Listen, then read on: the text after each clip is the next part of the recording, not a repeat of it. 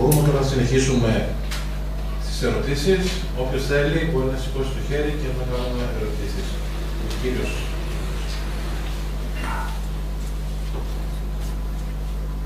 Δεν μπορεί κανείς να αμφισβητήσει τα όσα άκουσα. Πολύ σωστά, πολύ σωστά.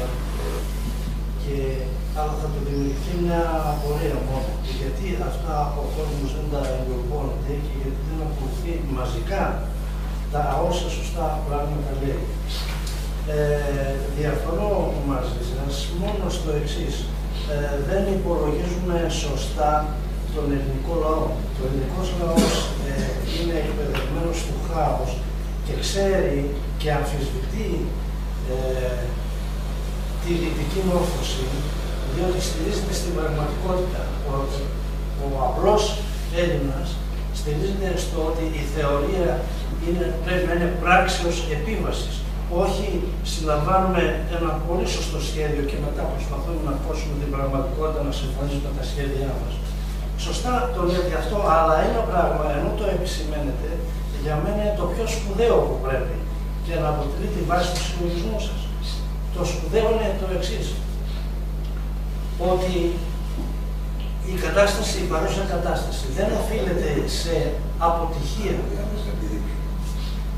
ή σε ανικανότητα των κυβερνήσεων πριν. Οφείλεται σε ίσα σε επιτυχία τους. Είναι σχέδιο να πάρουν τη χώρα. Το πρώτο άρθρο του συντάγματος, του Αμερικανικού συντάγματος που συνέταξε ο Τόμας Τζέφερσον, λέει ότι αν, αν ένας λαός επιτρέψει να αγοράζεται το νόμισμα από τράπεζες ιδιωτικές, θα σας πάρουν το υπόπεδο θα σας πάρω τη χώρα.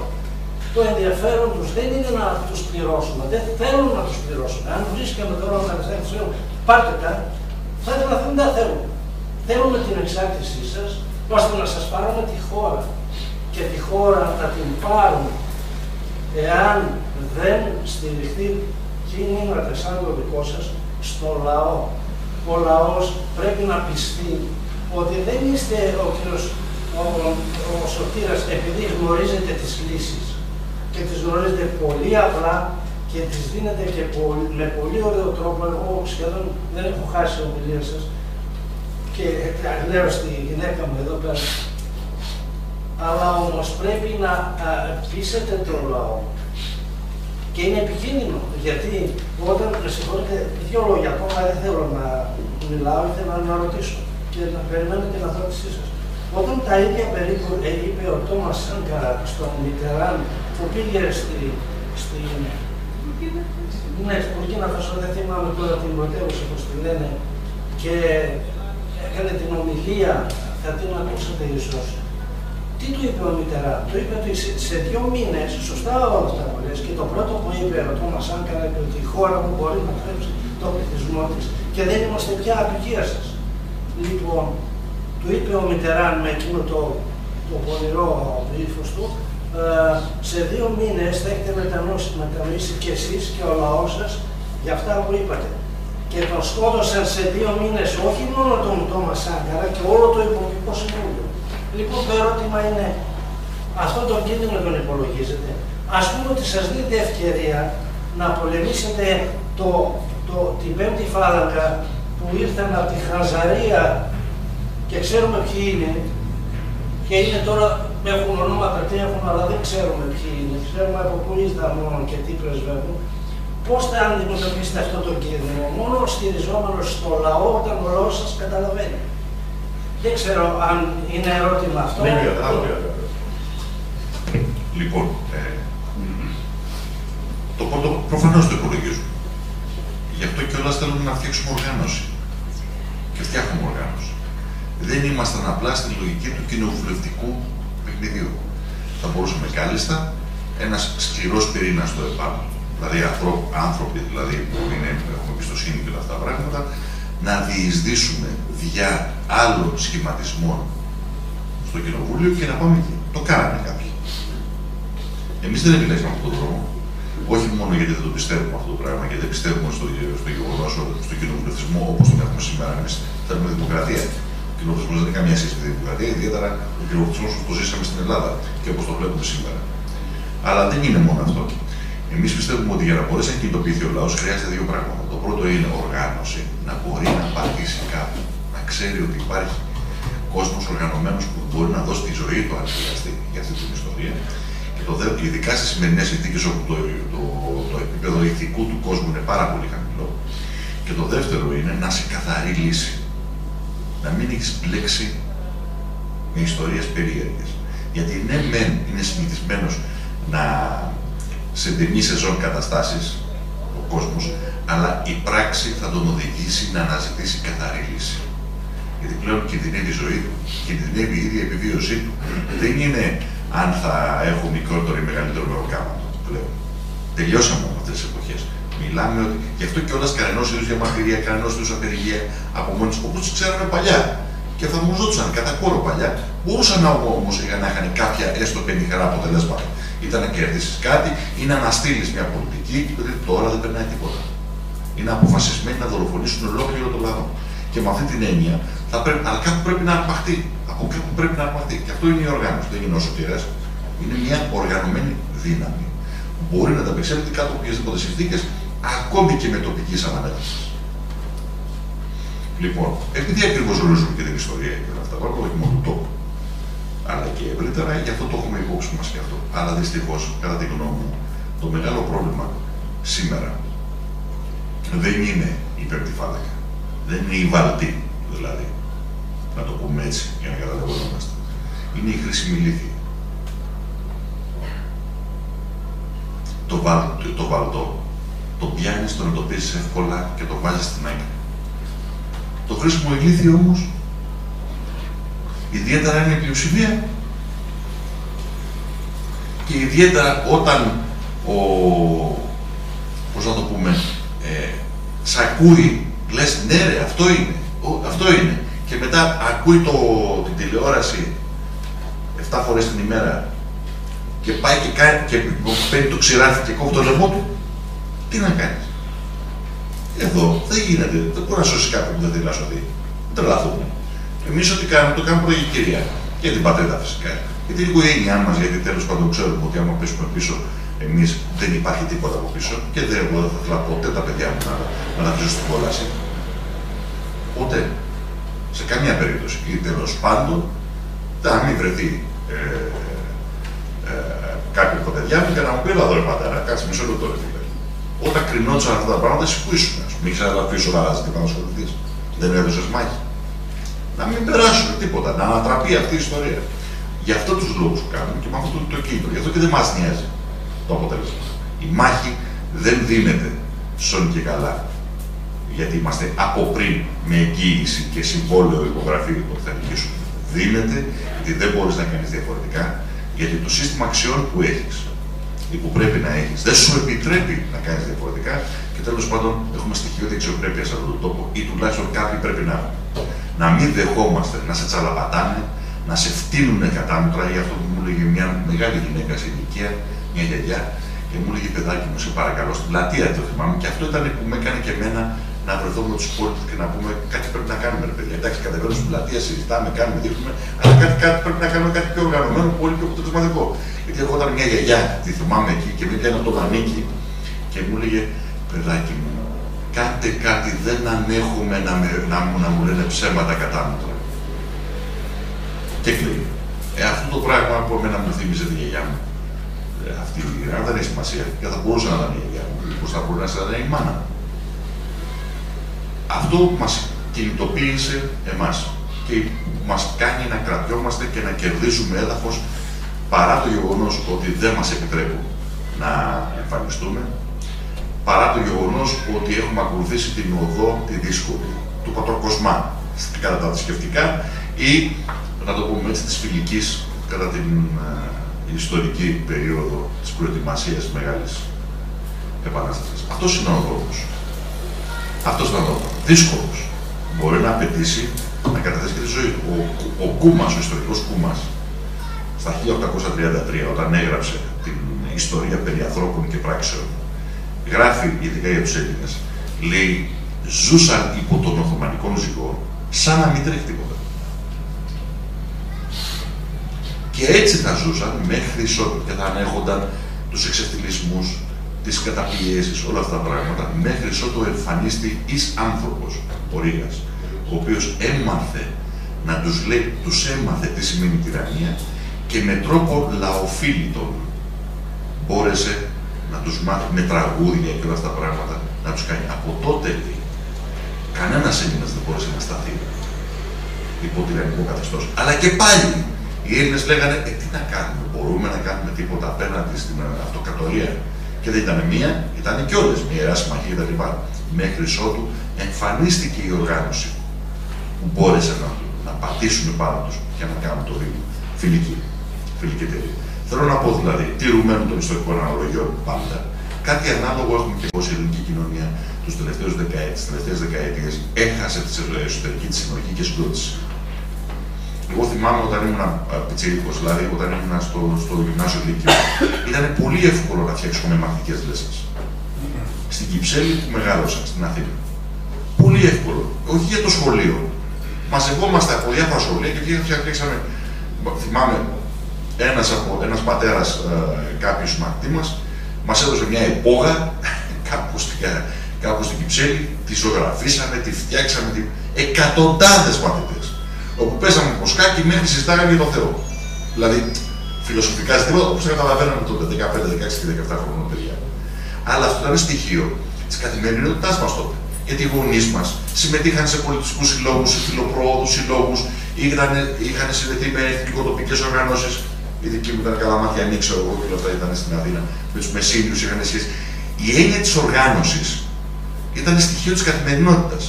Ε, εμένα, ε, για παράδειγμα, επειδή η μητέρα μου και ο πατέρας μου δούλευαν το πρωί με το βράδυ, όταν ε, τη γύριζα από το σχολείο, με κρατούσε η, η, η ψιλικατζού της γειτονιάς. Η έννοια της γειτονιάς παρά τις πολυκατοικίες υπήρχε ακόμη. Δηλαδή, εμείς γνωρίζαμε τους απέναντι, μας γνώριζαν. Υπήρχε αυτή η συνοχή, το στοιχείο δηλαδή της συνοχής. Η δυνατότητα να οργανώνεσαι για να αντιμετωπίζει μια απειλή και ένα κίνδυνο. Υπήρχε και στην πόλη, υπήρχε και στο χωριό ακόμη. Λοιπόν, αυτά τα πράγματα ισοπεδώθηκαν κυριολεκτικά. Έχασε την εσωτερική συμμετοχή σε μεγάλο βαθμό. Προδόθηκε από τα συνδικάτα του, προδόθηκε από τα σωματεία του ο ελληνικός λαός. Προδόθηκε από τους πολιτικούς του εκπροσώπους. Προδόθηκε από ένα ολόκληρο σύστημα θεσμών το οποίο υποτίθεται ότι είχε δημιουργηθεί για τον εκπροσωπή και να τον υπερασπίζει. Και τον μετέτρεψε, ε, ε, πώς το λένε, με σκοπό, σε εξάρτημα αυτού του μηχανισμού. Τον έκανε ήδη τον ταύτισε με το κράτος και τον έκανε τον ίδιο κρατικοδίαιτο. Όχι τόσο μόνο επαγγελματικά ή χρηματικά, αλλά και στην νοοτροπία. Στην ίδια την νοοτροπία. Όλα εξαρτώνταν από το τι ρουσφετολογικά θα μπορέσει να εξασφαλίσει από αυτό το απόλυτα διεφθαρμένο κράτος όπως το ζήσαμε τις τελευταίες δεκαετίες. Και αυτό παρήγαγε αντίστοιχη συνείδηση. Και τώρα τι έρχεται. Βλέπει κατάφασα κατάφαση ολόκληρο αυτό το καθεστώς να καταραίει. Έχει χρεοκοπήσει και καταραίει ολόκληρο. Αυτό δεν, υπά, αυτό δεν το αφιζητεί κανένας. Και στην πολιτιστική του διάσταση και στα πάντα. Και καλείται ο ίδιος τώρα να κάνει κάτι που του ήταν αδιανόητο. Ακόμη και στην επαγγελματική του ζωή. Να πάρει τα πράγματα στα χέρια του. Αυτό είναι τρομακτικά δύσκολο. Ε, κάποιοι όμως που μπορούν να δώσουν ένα παράδειγμα, να το πούμε έτσι, όχι διαφορετικό, αλλά αυτό το πράγμα να βγουν μπροστά και να μπορούν να δώσουν τη δυνατότητα. Δεν ξέρω τι θα χρειαστεί, αλλά πρέπει να κάνουμε οτιδήποτε χρειαστεί. Αυτό. Γιατί διαφορετικά θα χρειαστεί, μου το έλεγε τώρα το, ο, ο, ο Λεωνίδης Χρυσαδόπουλος, ο πρέσβης επιτιμή που είναι και στην πολιτική γραμματεία του πάνω, μου λέει, κοίταξε κάτι πρέπει να κάνουμε. Συζητάγαμε μια σκευωρή κυβέρνηση με προσωπικότητες, να δούμε κτλ. Γιατί εκτιμούμε πολύ ότι μπορεί να υπάρξει μια ξαφνική κατάρρευση αυτού του κράτους συνολικά με την κατάσταση που έχουμε σήμερα, ώστε να βρεθούν κάποιε δυνάμει, ρε παιδί μου, να πάρουν τα πράγματα στα χέρια του. Δηλαδή να, να μην χάος. Έτσι. Λοιπόν, και λέγαμε διαφορετικά, τι άλλο μπορεί να γίνει. Δηλαδή, να φτάσουμε στο βουνό, να πάμε στην κορυφή του βουνού, να φτιάξουμε καινούργια κυβέρνηση του βουνού. Γιατί εκεί θα καταλήξουμε. Και με το καριοφίλ να υπερασπίζει τις βουνοκορφές μέχρι ότου ξανακερδίσει την πατρίδα σου. Ε, δεν είναι κρίμα όμως να αφήσουμε τα πράγματα να φτάσουν εκεί. Αλλά γι' αυτό παλεύουμε και δίνουμε τη μάχη. Φυσικά, αν είχαμε τα μέσα, θα είχε πολλαπλασιαστικά αποτελέσματα. Αυτό το πράγμα. Αλλά δεν έχουμε τα μέσα και δεν θέλουμε να έχουμε και ανθρώπους με μέσα. Γιατί έχουμε δει πώς τελικά καταλήγει και το πώς οι εξαρτήσεις καταλήγουν σε δεσμεύσεις άλλου τύπου και όλα αυτά τα πράγματα. Εμείς θέλουμε να δείξουμε ένα καθαρό πρόσωπο. Να καταλάβει ο κόσμος πολύ απλά ότι δεν είμαστε κάτι διαφορετικό αυτό. Είμαστε μέρος του. Σάρκα από τη σάρκα του, αίμα από το αίμα του. Απλά ε, έτυχε να ξυπνήσουμε λίγο πιο νωρίς. Και προσπαθούμε να βοηθήσουμε και τους υπόλοιπους. Μαζί, όλοι μαζί. Και αυτό, να αποκτήσουμε αυτό το πράγμα που υπήρχε πάντα στην ελληνική κοινωνία. Αυτή την αλληλεγγύη, το φιλότυπο, την αξιοπρέπεια. Στοιχειώδη πραγματάκια. Αλφαβήτα. Μου τα δίδαξαν εμένα οι γονείς μου, οι προγονείς, φαντάζομαι όλους μας. Και ήρθε η ώρα να τα υπερασπιστούμε μέχρι τέλου. Αν χρειαστεί και με τη ζωή μα. Αυτή είναι η διαφορά του οργανωμένου μέρου του ΕΠΑ με τον απλό άνθρωπο που προσπαθεί να καταλάβει και να κινηθεί. Στον ΕΠΑ όμως έχουμε και πόλεμο, έτσι. Γιατί όταν στις τελευταίες εκλογές, εγώ τουλάχιστον σε τρία εκλογικά τμήματα θυμάσαι είχαμε μιλήσει στο τηλέφωνο που δεν μπορούσα να δω με τα ψηφοδέλτια. Κρύβαν τα ψηφοδέλτια, δεν θέλετε να σας Αυτά είναι κλασικά. Έτσι. Αυτά αμέσω αμέσω με όλα τα ποσοστά. Οπότε ο κόσμος θα θα δει ότι το ΕΠΑΜ σε αυτές τις εκλογές πήρε 2,8, 2,9. Σου λέει την άλλη φορά να ψηφίσω κι εγώ να το δυναμώσω. Να Ναι, όχι, εγώ νομίζω ότι μας έχουν πει ξεκάθαρα ότι εμείς θα σας έχουμε εκεί και δεν πάνε να σας ψηφίσουν όλοι. Αυτό μας έχουν. Ευχαριστώ πάρα πολύ του. Λέμε εμείς εμείς συνεχίζουμε. Ναι, αυτό το ξέρω. Θυμάμαι και το 12 είχαμε τον πόλο με τα ψηφοδέλτια που δεν να τα φέρουν μετά πάμε. Και κάναμε σε μια καταμέτρηση που έγινε στην Τα ξέρεις και τα ξέρω. Στην Κρήτη που έγινε μια καταμέτρηση, βρήκαμε ότι χάθηκαν από το, από το κίνημα μερικές εκατοντάδες ψηφοδέλτια. Πώς χάθηκαν τώρα και ξαφνικά πήγαν αλλού, τα βρήκαμε. Εντάξει, αλλά για να το κυνηγήσει αυτό θέλει πολλά χρήματα, να έχεις πολύ κόσμο που θα κάνει και καταμετρήσει ιστορίες και όλα αυτά για να αποδείξεις σε εκλογοδικείο ότι η σύγκουλα παραποιεί τα αποτελέσματα. Και όχι μόνο σε εμάς, πάρα πολύ δεν είναι τώρα. Αλλά αυτό όπως καταλαβαίνουμε. Ναι, συγγνώμη λίγο, είναι ο κύριος με το μόβο στο βάθος, μετά ο κύριος με το καρό και ο φίλος ο, ο κύριος με το, με το μόβο. Για μένα δεν είναι Όχι, τον κύριο με το μόβο, πίσω. Εσεί είχατε σηκώσει κύριε Πρόεδρε. Χατζόπουλος είναι αξιόπουλος πολιτικός. Ο Φρονής ο κύριος είπε που λέει εύκολα μία φράση. Κάνουμε ένα σχέδιο και ύστερα προσπαθούμε να προσαρμόσουμε στην πραγματικότητα και αυτό δεν είναι σωστό. Βεβαίως. Είναι πάρα πολύ σωστό αυτό που είπε. Μήπως θα πρέπει όλοι μας, οι πολιτικοί, οι ιδέες που έχετε πολλές και γνώσεις πολλές οικονομικές, να ξεπηδούν από την πραγματικότητα και να φτάνουν στο συνδυασμό. Δεν ε, αμφισβητώ αυτά που λέτε. Ξέρετε εσείς, που δεν ξέρω, αλλά στην πράξη απορίες είναι. Αυτό το νόμισμα που είπατε πρώτο, θα χρειαστεί να γίνουν συναλλαγές με το εξωτερικό. Θα χρειαστεί να γίνουν αγορές στην αγορά την ελληνική συναλλαγές. Ποια θα είναι η αξία του η αγοραστική; Ένα. Και αν μου επιτρέπετε, πώ θα Εάν στείλετε από τις εξωτερικές αγορές. χρειαστούν εισαγωγές οι πρώτες ύλες ή βιοτεχνίε. Με ποιον νόμο θα τις αγοράσουν, Με αυτό που θα βγάλει η Ελλάδα όταν θα είναι όπως την είπατε, θα το δεχτούν οι ξένες αγορές. Και δεύτερο ερώτημα, εάν το είπαμε λέει, μακριά από την Ευρωπαϊκή Ένωση, καμία αντίρρηση, μακριά από το ευρώ, μακριά από την οργανωμένη κοινωνία της οικονομίας, την παγκόσμια κοινωνία. Σε τι θα διαφέρει αυτό το ΚΚΕ. Λοιπόν, ε, το πρώτο ζήτημα είναι ότι ε, εμείς δεν λέμε μακριά από την οργανωμένη κοινωνία. Είπαμε ότι μακριά από τα κουντρούμια της οργανωμένη κοινωνίας για να μπορέσουμε να έχουμε ελεύθερες συναλλαγές και σχέσεις με όλα τα κράτη. Ε, Θα μας δεχτούν. Φυσικά θα μας δεχτούν. Τώρα είμαστε παρείε. Κανένας δεν κάνει τόσο εμπιστοσύνη μαζί μα. Αυτή τη στιγμή, οποιονδήποτε ξέρετε και έχει δώσει εμπιστοσύνη στο εξωτερικό, θα δείτε ότι δεν δέχονται ούτε καν εγγυητικέ επιστολές. Cash ζητάνε όλα τα λεφτά και αν ζητήσουν κιόλας, γιατί ορισμένοι πολλοί μάλιστα ούτε καν στέλνουν εμπορεύματα πλέον ή οτιδήποτε. Δεύτερο, μια οικονομία. Και για 30 με το- ευρώ. Πώς; Και Το για ξέρω, 30 το ξέρω, το ξέρω. Εγώ αγοράζω βιβλία από το εξωτερικό, ας πούμε. Ούτε καν αυτό. Και έχω και τις τράπεζες να μου χρεώνουν τη συναλλαγματική διαφορά, επειδή άμα είναι με, με δολάρια. Μου χρεώνουν 1,5 δολάριο στο βιβλίο για αν αγοράσω τα μερική κάποια βιβλία, ξέρετε, το ταχυδρομείο και όλα αυτά τα πράγματα, οι τράπεζες, οι τοκογλύφοι της χώρας, δηλαδή αυτά τα είναι το τρομερά, ας πούμε. Λοιπόν, όταν κάνεις ε, στο εξωτερικό συναλλαγές και έχεις εθνικό κρατικό νόμισμα, κάνεις με συνάλλαγμα ε, συναλλαγές ή με προγραμματικές συμφωνίες που κάνεις ανάμεσα σε κράτη. Δηλαδή, εάν, για παράδειγμα, από μια χώρα παίρνεις καύσιμα, τα οποία τα έχεις, εκτός και αν πιστεύουμε κανείς ότι, το, ότι είμαστε Σαουδική Αραβία, ας πούμε, ή κάτι ανάλογο. Γιατί το λένε και αυτό. Λοιπόν, για να μας τυφλώσουν το λένε. Ε, ε,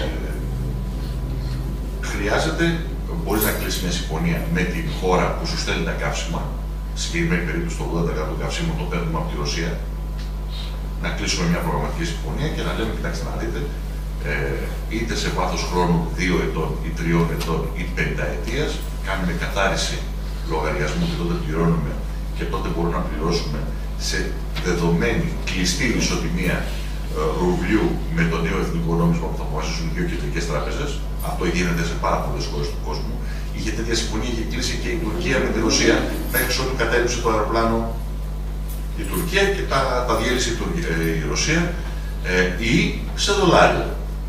Τώρα, για παράδειγμα, η Κίνα συζητάει να ρίξει ένα ειδικό, μια, το, το, προσπαθεί να μην κάνει το renminbi, το yuan δηλαδή, το κινέζικο, σε πέτρο yuan, δηλαδή να χρησιμοποιείται και κύριο λόγο για συναλλαγές πετρελαίου, να το συμφωνήσει με την Ρωσία και να το διαδώσει.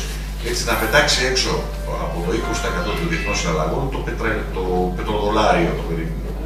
Το αν θα γίνει ή όχι αφορά σχετισμούς δύναμης, τέτοια πράγματα. Λοιπόν, άρα θες συνάλλαγμα για να κάνεις αυτή την ιστορία. Δεν το κάνεις με το δικό σου νόμισμα. Άρα δεν διακινδυνεύει το δικό σου νόμισμα να το αρνηθεί ή να το δεχτεί κάποιος. Όπως γινόταν με την παλιά δραχμή.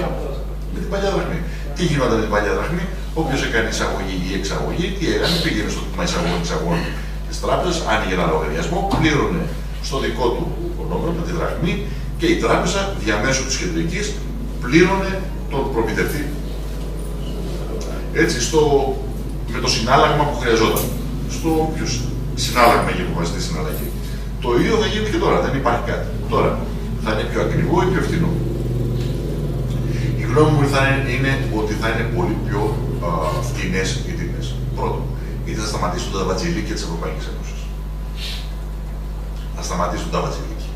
Δηλαδή, συγγνώμη, έχετε δει τελευταία στα φαρμακεία πόσο κοστίζει το καθαρό πετρέλαιο; Καταρχήν δεν υπάρχει. Ε; Το ενόπνευμα. Το ενόπνευμα. Το, ε, συγγνώμη, καθαρό πετρέλαιο υπάρχει. Συγγνώμη, καθαρό γνώμη. Που δεν υπάρχει. Υπάρχουν ελοσιών, δηλαδή δεν οτιδήποτε. 70%. Λοιπόν, είναι τρελά τα λεφτά. Έτσι. Είναι πολύ ακρίβη η ιστορία. Εγώ θυμάμαι το καθαρό ενόπνευμα, αν ήταν πάμφθηνο. Πάμφθηνο επιδράκμη. Γιατί, το, πα, γιατί το είχαμε, το, το παράγαμε εμείς. Το πέραμε και το μπακάλι.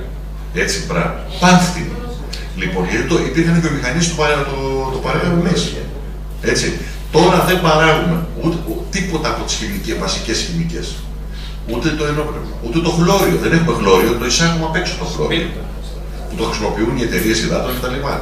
Και από πού το εισάγουμε, από την Ολλανδία. Από πού το παίρνουν οι Ολλανδοί, από το Πακιστάν. Συγγνώμη, ρε παιδιά, μια στιγμή δηλαδή, συγγνώμη. Εγώ μια ζωή σε επιχειρήσεις ήμουν. Οικονομολόγος επιχειρήσεων στον κόσμο ήμουν. Εάν μου λέει ο προμηθευτής, αν ανακάλυπτε το προμηθευτή μου στην επιχείρηση, μου μεταπουλάει το προϊόν, στην πρώτη φορά που θα το έπαιρνα, θα το έπαιρνα έτσι. Με το που θα ανακάλυπτε το ίδιο, μετά θα, θα το κάμπτα και θα πήγαινε κατευθείαν για να γλιτώσω το, το, το κόστος που βάζει. Όχι. Γιατί δεν τα βαζιλίκι αυτό; Δεν καταλαβαίνω. Επειδή είμαστε μέσα στην προσοχή. Από ποιο πού. Λοιπόν, θα, άρα θα πέσουν οι, οι τιμές. Δεύτερο παράδειγμα ορισμένοι τομείς της οικονομίας είναι στρατηγικής λεγόμενη σημασίας. Γιατί χωρίς αυτούς δεν έχει άμυνα. Το στοιχειώδες. Δεν έχει άμυνα. Όπως τηλεπικοινωνίας. Αν δεν έχεις τηλεπικοινωνίας, το συζητάμε, δεν υπάρχουν ε, καμία δυνατότητα όπως είναι σήμερα. Το, το, ο ΤΕ είναι στα χέρια που είναι, οι ελληνικές ενόπλες δυνάμεις ουσιαστικά εξαρτώνται από το Βερολίνο εάν έχουν τηλεπικοινωνίες ή όχι. Λοιπόν, α, Οπότε και τα δηληστήρια το ίδιο. Γιατί, Γιατί το ζήτημα των καυσίμων στρατηγική σημασία για μια οικονομία. Όχι μόνο για την άμυνα τη, αλλά και συνολικά για μια οικονομία. Λοιπόν, τα δικαστήρια σήμερα είναι όλα ιδιωτικά. Όλα. Λοιπόν, τι κάνουν λοιπόν, ανήκουν στο περίφημο καρτέλ του δικαστηρίων με έδρα τη Μασαλία και δίνουν υψηλά μονοπωλιακές τιμές στην ελληνική αγορά.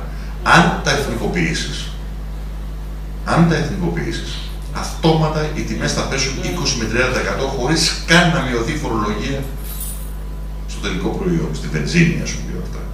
Χώρια το ότι θα τελειώσουμε το λαθρεμπόριο, το λαθρεμπόριο πετρελαίου δεν γίνεται στο βενζινοπόλι. Αυτό το 2% του συνολικού λαθρεμπορίου. Το 98% γίνεται ανάμεσα στο εφοπλιστή και στο δηληστήριο. Εκεί γίνεται το χοντρό λαθρεμπόριο. Λοιπόν, που το νομοποιεί το δικαστήριο, γιατί τώρα είναι ιδιωτικό, ανήκει βασικά στον εφοπλιστή που κάνει το λαθρεμπόριο. Έτσι. Και λοιπόν, και τελειώνει αυτό. Άρα θα πέσουν και εκεί οι τιμές. Εάν σπάσεις και τα τράσει και τα καρτέλ που υπάρχουν στην αγορά, δείτε ρε παιδιά, δεν είναι τρελό. Άμα έχετε κυκλοφορήσει στην Ευρώπη, Πηγαίνετε, φάτε για οτάκι ελληνικό στη Γερμανία, το δείτε 40% πιο φθηνό από ό,τι πουλιέται εδώ. Ή το γάλα που παράγουμε εδώ, 40% πιο φθηνό εκεί. Και οι ξένες εταιρείες που έρχονται εδώ, παράδειγμα, αν δείτε στο, γιατί, στο διαδίκτυο πείτε και δείτε την, την IKEA, το τιμοκατάλογο της Γερμανίας και το τιμοκατάλογο της Ελλάδας. 45% πιο φθηνός στη Γερμανία. Το ίδιο εργοστάσιο παρά. Η διαφορά είναι το κόστος μεταφοράς. Τόσο μεγάλο, δηλαδή θα τρελαθούμε τελείως. Απλά έχουν φτιάξει καρτέλ εδώ πέρα και επιδοτούν την δραστηριότητά τους αλλού με υψηλά μονοπωλιακές τιμές στην ελληνική αγορά. Όχι για την ποιότητα του προϊόντος και όλα αυτά τα πράγματα. Άρα λοιπόν θα πέσουν οι τιμές. Τώρα, στην ισοτιμία. Την ισοτιμία, η ισοτιμία καθορίζεται με βάση τη δυναμική της οικονομίας. Αν η οικονομία έχει δυναμική άνοδο, το νόμισμα είναι δράχος. Δεν έχει πρόβλημα.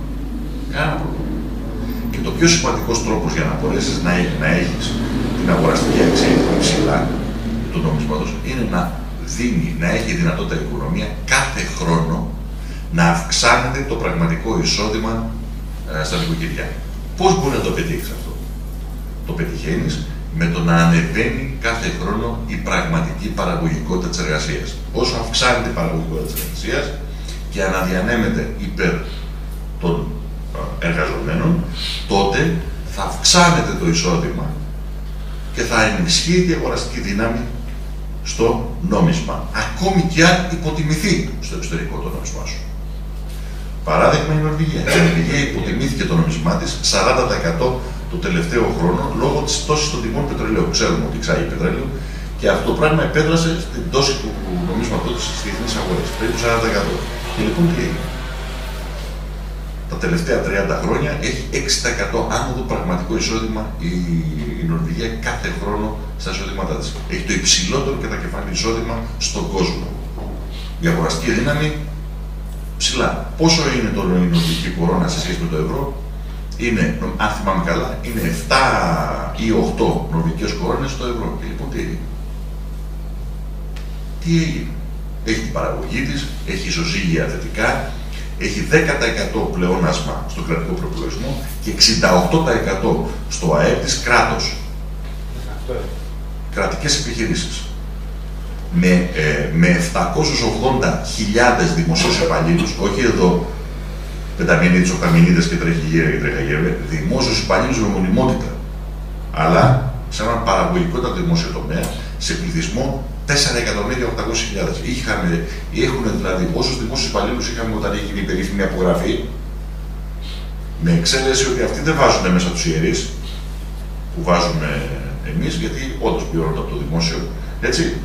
Αυτοί είχαν τους ίδιους ακριβώς δημόσιου υπαλλήλου, εξακολουθούν να έχουν τους ίδιους, σε μισό πληθυσμό. Με άλλα λόγια δηλαδή, έχουν υπερδιπλάσιο ποσοστό ε, δημόσιας απασχόλησης από την Ελλάδα. Άλλο η Νορβηγία. Είναι το κράτος παράγει. Ναι, μπράβο. Ε, γιατί το DNA τους είναι να παράγει. Με συγχωρείτε. Το φτιάξαμε έτσι. Έτσι, μπράβο. Να το φτιάξουμε κι εμείς. Δηλαδή, τόσο δύσκολο είναι. Εδώ έχουμε φτιάξει, έχουμε φτιάξει πράγματα και πράγματα. Δηλαδή, αυτό θα μας ε, θα μας κουλώσει. Απλά πρέπει να ξεφορτωθούμε αυτή την πολιτική τάξη. Όσο έχει αυτό το πράγμα το διεφθαρμένο καθεστώς, δεν υπάρχει περίπτωση να φτιάξεις. Γιατί φτιάχνεται κατ' εικόνα και ομοίωσή του. Και η ισοτιμία για μένα για να δούμε. Επειδή δεν μπορεί να υπολογίσει ιστορία, σε πρέπει να δεις σε ποιες συνθήκες μπαίνεις στο εθνικό νόμισμα. Αλλά κατά τη γνώμη μου θα είναι μάλλον κατά πάσα πιθανότητα, μπορείς να το εκτιμήσεις, με βάση τα δεδομένα σήμερα, ένα ευρώ, δύο, ε, συγγνώμη, ε, μία νέα δραχμή, δύο με τρεις, τρία ευρώ.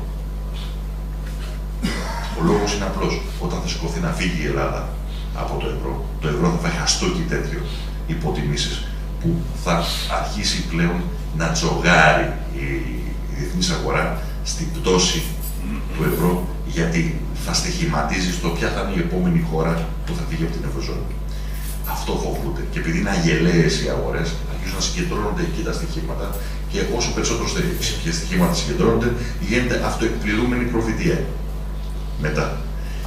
Δεν ξέρω αν θα σταθεροποιηθεί το ευρώ.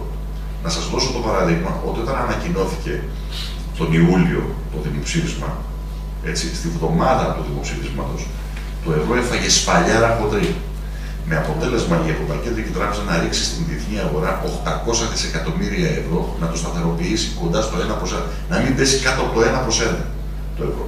Φανταστείτε τώρα η Ελλάδα μετά τις 5 Ιουλίου να λέγει Bye! Θα, το σφαλ, τη σφαλιάρα που θα έτρωγε ήταν, είναι ανε, ανεκτήμητη. Γι' αυτό λέω ότι το πιθανότερο είναι η νέα δραχμή να είναι πολύ πιο ισχυρή σε ισοτιμία από το ευρώ. Και φυσικά δεν θα κλειδωθεί στο ευρώ, ούτε θα κλειδωθεί με το δολάριο, ούτε με το ρεμίντι, ούτε με το ρούμπλι, ούτε τίποτα. Ελεύθερες συναλλαγές. Να αποφασίζει η οικονομία, οι κεντρικές νομισματικέ αρχές πώς θα πρέπει να κινηθεί με βάση την ισορροπία που θέλει να πετύχει. Αυτό δεν έχει καμία σχέση με το τι προτείνει το ΚΚΕ. Το ΚΚΕ προτείνει να επέλθει η, πώς θα το πούμε, η λαϊκή οικονομία, πώς το λέει, έτσι, και αφού επέλθει θα μας λύσει τα προβλήματα. Καμία σχέση.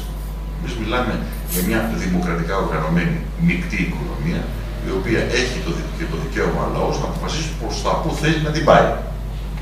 Εγώ θα ήθελα να δω να κινείται προς μια κατεύθυνση απαλλαγής της εκμετάλλευσης ανθρώπου από άνθρωπο.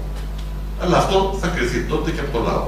Εάν μπορέσω να το πείσω, δεν μπορώ να το πείσω. Σημαίνει ή κάτι τρέχει με αυτό που πιστεύω.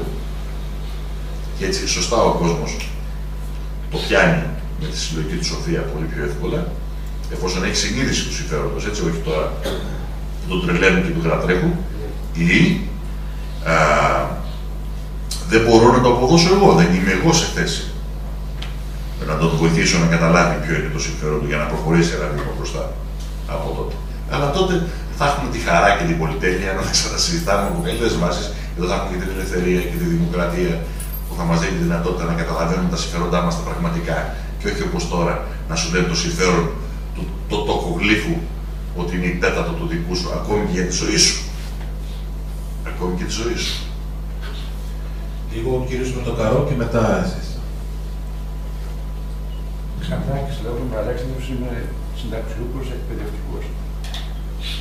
Ε, έρχομαι πρώτη φορά στην ομιλία σας και δεν σας κρύβω ότι είχα κάποιους δισταγμούς σε ό,τι αφορά δηλαδή την προσωπική σας ε, κίνηση που κάνετε, αυτή τη στιγμή αυτή η δισταγμή έχουν φύγει. Πριν όμως έχω κάποια ερωτήματα και κάποιους προβληματισμούς. Οι επισημάνσεις που κάνατε αναδεικνύουν το πρόβλημα το οποίο λίγο πολύ όλοι οι πολίτες το βλέπουν. Δίνονται κάποιες αόριστες λύσεις, αλλά δεν μας δείχνετε στο αίτημά σας το εργαλείο που θα μπορέσει να αντιμετωπίσει ο λαός αυτό το πρόβλημα. Αυτό είναι το ερώτημα και ο προβληματισμός. Για τι εννοείται; Είπατε ότι να, να πάρει κάθε άτομο από μόνο του την απόφαση. Πήρε μια απόφαση ότι ναι, συμφωνώ με αυτό. Από εκεί πέρα είναι σε μια αόριστη θέση. Δεν μπορεί να κάνει τίποτα. Το, το τρόπος, το τι θα κάνει, δεν μας το επισημάνατε. Έτσι, έτσι τουλάχιστον καταλαβαίνω. Έτσι καταλαβαίνω. Από εκεί πέρα τώρα, εσείς αποτελείτε μια κεντρική οργάνωση. Αναφερθήκατε και σε ένα σημείο να, γίνει, να γίνουν κάποιες οργανώσεις εδώ, τοπικές, όπως παλιά ήταν τα άλλα κόμματα. Και κάπου αναφέρεται και ένα σημείο, σε ένα στοιχείο, το, το παράγοντα αυτό της λέξεως της αλληλεγγύη. Αυτό είναι ένα καλό στοιχείο το οποίο δεν ξέρω πώς θα εφαρμοστεί μέσω των μικρών οργανώσεων ή και μέσω της κεντρικής οργάνωσης. Αυτά είναι τα ερωτήματα τα δικά μου. Ναι. Τώρα παραπάνω να μην επιταθούμε. Εμείς οργανωνόμαστε ε, σε πυρήνες, όπως τους λέμε. ε, σε οριζόντια πολιτική. Δηλαδή δεν έχουμε μια πυραμιδική ή ιεραρχική δομή οργάνωσης για να μπορέσει να φτιαχτεί μια οργάνωση που να μπορεί να αντέχει κάτω από οποιασδήποτε συνθήκες. Η ιστορία έχει δείξει μόνο μια οριζόντια οργάνωση μπορεί να αντέξει την πίεση κάτω από οποιασδήποτε συνθήκες και να αντιμετωπίσει το οποιοδήποτε πολιτικό αγώνα, να το πούμε έτσι, βρεθεί μπροστά της κοινωνικό αγώνα. Τι κάνουν, δημιουργούνται σε κάθε, σε κάθε πόλη χωριό, δημιουργούνται αυτοί οι πυρήνες ανθρώπων. Γιατί τους λένε πυρήνες, Γιατί είναι μια ε, ένας βασικός πυρήνας ανθρώπων, πρέπει για να, για να ε, συγκροτηθεί, θέλει τουλάχιστον πέντε άτομα, τα οποία τι κάνουν; Είναι ο πυρήνας που γύρω από αυτόν θα υπάρξει ένας ευρύτερος κόσμος που θα είναι φίλος κτλ. Και, και μια ευρύτερη ε, κατάσταση επιρροής που όμως έχουν μια αναφορά σε αυτούς τους ανθρώπους για να μπορέσουν να, έχουν, να στηριχτούν. Αυτός ο πυρήνας δεν είναι αυτοκέφαλος. δεν είναι ε, άθροισμα το επάνω είναι ενιαία οργάνωση, αλλά έχει την ευθύνη της ανάπτυξης ε, της, ε, της ζήμωσης, να το πούμε, των ιδεών και, την, και των αντιλήψεων στην περιοχή του, στον χώρο δράσης του. Είτε είναι εργασία, είτε είναι, ε, να το πούμε έτσι, ε, χώρος κατοικίας, να το πούμε έτσι. Λοιπόν, από εκεί και πέρα τώρα, το ΕΠΑΜ έχει ένα κεντρικό όργανο. Ένα κεντρικό όργανο. Τώρα είναι η πολιτική του γραμματεία αυτή η οποία εκλέγεται στο ετήσιο συνέδριο ε, κάνει ετήσιο συνέδριο, όπου είναι και εγώ εκλόγω απολογιστικό. Δηλαδή, το, παλι, προηγούμενο, το προηγούμενο κεντρικό όργανο καταθέτει τους απολογισμούς, το συνέδριο συζητάει και εκλέγει το καινούριο πολιτικό, κεντρικό πολιτικό όργανο που έχει την ευθύνη συντονισμού ε, και της διαμόρφωσης πολιτικού λόγου του ΕΠΑΜ στα, ανάμεσα στα δύο συνέδρια. Το, όμως, για μεγάλες πολιτικές αποφάσεις στο ΕΠΑΜ, όμως, θα συνεργαστούμε με τα δύναμη. Τη διερεύνηση αυτού του ζητήματος. Ε, θα κατέβουμε σε εκλογές. Ναι. Αυτό, τη διερεύνηση και την ευθύνη συντονισμού την έχει το κεντρικό όργανο, αλλά την παίρνουν την απόφαση δημοψηφισματικά το σύνολο των μελών ε, της οργάνωσης. Γιατί αυτοί είναι που θα τρέξουν και θα βγάλουν το φίδι από την τρύπα, που λέμε έτσι, και θα υπομισθούν και το κόστος και οτιδήποτε. Και τις υποψηφιότητες και όλα αυτά τα πράγματα. Αυτό, αυτή η δομή οργάνωσης που έχει ε, το ΕΠΑΜ είναι πολύ χοντρικά. Πολύ χοντρικά. πρώτη φορά γι' αυτό. Όχι, εντάξει, γι' αυτό το λέω. Το λέω, το λέω. Δεν θα ήθελα να πω σε, μια, σε λεπτομέρειες για αυτή την ιστορία, για να μην φανεί ότι κάνουμε διαφήμιση της οργάνωσης. Επειδή κάποιοι από εμά. το αίτημα, ναι, όχι, το καταλαβαίνω. Γι' αυτό κιόλας ο στόχος μας είναι ε, αυτή τη στιγμή το οργάνωση αποτελείται από 136 πυρήνες. Η, η πείρα μας λέει ότι ένας πυρήνας δεν πρέπει να υπερβαίνει τους 15 με 20 τα ίδια 15 με 20 μέλη, γιατί στην πραγματικότητα διαμορφώνεται δύο, δύο ταχυτήτων πυρήνας. Δηλαδή, κάποιοι οι οποίοι έχουν τη διάθεση και και τρέχουν και οι υπόλοιποι απλά είναι για να συμμετέχουν, εμείς δεν θέλουμε τους πυρήνες. Εμείς θέλουμε ανθρώπους οι οποίοι όλοι συμμετέχουν, έχουν λόγο, άποψη, συμμετοχή και ζήμωση. Γιατί διαφορετικά δεν υπάρχει δημοκρατία. Η δημοκρατία φαινεγιώνεται από τη συμμετοχή. Αν δεν υπάρχει συμμετοχή, δεν έχει δημοκρατία. Τι πει μπορεί να έχεις, ουσιαστική όμως δεν έχεις. Γι' αυτό και αυτός που δεν μπορεί για κάποιους λόγους να ανταποκριθεί, γίνεται φίλος. Είναι από κοντά μας, τρέχει, συντρέχει κτλ. Αλλά δεν μπορεί να συμμετέχει στην διαδικασία της οργάνωσης. Γι' αυτό το έχουμε διαφοροποιήσει έτσι τα πράγματα. Και επειδή πολλοί από εμάς, ή κάποιοι από εμάς, όχι πολλοί, οι λιγότεροι, αλλά είχαμε την εμπειρία κομματικών σχηματισμών ε, στα παλιότερα χρόνια και ξέρουμε ποια είναι τα προβλήματα αυτά και πώς δημιουργούνται και πώς οι κλίκες και τα επαγγελματικά στελέχη που σου παίρνουν το δικαίωμα απόφασης και επιλογής και αφήνουν τη βάση από κάτω. Αυτά τα καταργήσαμε όλα, δεν έχουμε επαγγελματικά στελέχη, δεν θα αποκτήσουμε ποτέ επαγγελματικά στελέχη, είναι θέμα αρχής από την ίδρυσή του το ΕΠΑΜ και επίσης ε, έχει ε, το ΕΠΑΜ δεν θέλει από την ίδρυσή του την απόφαση αυτή, δεν θέλει στις γραμμές του επαγγελματίες της πολιτικής ή αυτούς που έχουν διατελέσει ως επαγγελματίες πολιτικής. Όχι μόνο αυτούς που έχουν εμπλέκει, βλάκι με ιστορίες και όλα αυτά τα πράγματα, αλλά και αυτούς που ήταν επαγγελματίες πολιτικής. Δηλαδή, εντάξει, αν ήταν ένα κάποιος άνθρωπο που δεν είχε εμπλακεί με τις ιστορίες, με ιστορίες, αλλά ήταν επαγγελματίας πολιτικός, τον κρατάμε απλά στην καλύτερη των περιπτώσεων, τον κρατήσουμε φίλο, συνεργαζόμενο. αλλά όχι στην οργάνωση, γιατί φέρνει νοοτροπία και λογικές οι οποίες δεν θέλουμε να υπάρχουν, έτσι, γιατί έχουμε ένα μεγάλο δύσκολο έργο. Πρέπει να συνεννοηθούμε μεταξύ μας. Είμαστε άνθρωποι οι οποίοι είμαστε από τελείως διαφορετικούς ιδεολογικο-πολιτικούς χώρους. Πρέπει να μάθουμε αυτό που έλεγε ο Δημήτρης Οκλινό παλιά, στην παλιά κατοχή, είναι ο ιερός, είναι η ιερή στιγμή να αποβάλουμε τις συμπάθειες και τις αντιπαθίες μας, τους εγωισμούς και όλα αυτά τα πράγματα. Αυτό ισχύει πολύ περισσότερο σήμερα. Λοιπόν, εγώ σαν αριστερός, ας πούμε, είναι πολύ δύσκολο να κάτσω με ένα δεξιό, όμως πρέπει να μάθω ότι είναι όχι απλά πρέπει να τον ανέχω, αλλά είναι συναγωνιστής μου, σύντροφός μου, συμπολεμιστής μου. Και εγώ πρέπει να τον τιμώ όπω με τιμά και αυτή και εκείνος. Και αυτό είναι η κατάκτηση του ίδιου του επάνω. Δηλαδή τη δυνατότητα να μπορεί, να μπορεί κάποιος ο οποίος έχει τη δική μου διαδρομή, πολιτική και ιδεολογική, και που δεν την έχει απορρίψει ιδεολογικά, να το πούμε έτσι, ότι έχει δίπλα του ανθρώπους οι οποίοι ε, το, το τιμούν και του τιμά και ο ίδιος, παρά το γεγονός ότι μπορούν να ενδιαφέρουν κοσμοσυκοσμοθεωτικά ή φιλοσοφικά ζητήματα. Και λοιπόν τι έγινε; Να μάθουμε να τα κουβεντιάζουμε ισότιμα, χωρίς να θέλει ο ένας να γίνει ιεραπόστολο του άλλου. Δηλαδή, ισό και καλά θα πρέπει να πιστέψεις και να γίνεις σε γεμένα για να παλέψουμε για το αυτονόητο, δηλαδή το κοινό αγαθό. Αυτό το πετύχαμε. Με δυσκολία και με μεγάλο πρόβλημα. Ε, έτσι, γιατί ναι, μεν καλή είναι η αρχική απόφαση, αλλά καταλαβαίνετε ότι όταν πάει να γίνει πράξη, εκεί είναι όλη η δυσκολία. Έτσι. Αυτό, αυτή είναι το πρωτότυπο του, αυτά που περιέγραψα το πρωτότυπο που είπε και προηγουμένως και ο Δημήτρης ε, του ΕΠΑ. Και μέχρι στιγμής αυτό δουλεύει. Δεν είναι ότι μας οδήγησε σε διέξοδο. Βεβαίως περνάμε από 40 κύματα και βάλε την τρικυμία που έχουμε που αντιμετωπίζουμε, τη φουρτούνα, εγώ ούτε μπορούσα να, να τη φανταστώ στην, στην αρχή.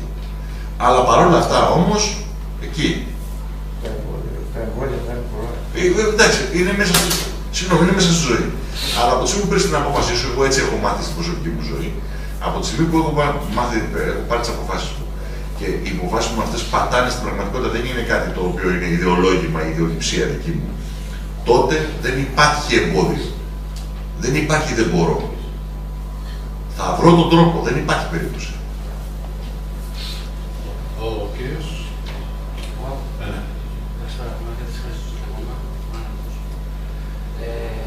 Αναφερθήκατε και είπατε ότι σε καλύτερες βάσεις θα μπορούσαμε να ακούγεστε. Σε καλύτερες βάσεις, σε μεγαλύτερε προοπτικές θα μπορούσαμε να συζητήσουμε και κάποια περαιτέρω πράγματα θα ήταν ωφέλιμα, κοινά ωφέλιμα. Ε, θέλω να, να, να, περάσω σαν, πώς να το, να το θέσω, ας πάρουμε σαν, ε, γεγο, σαν γεγονός, ας πούμε, ότι είμαστε σε, αυτή, σε αυτό το καλό στάδιο που έχουμε ξεπεράσει κάποια προβλήματα και βλέπουμε πιο αισιόδοξο μέλλον.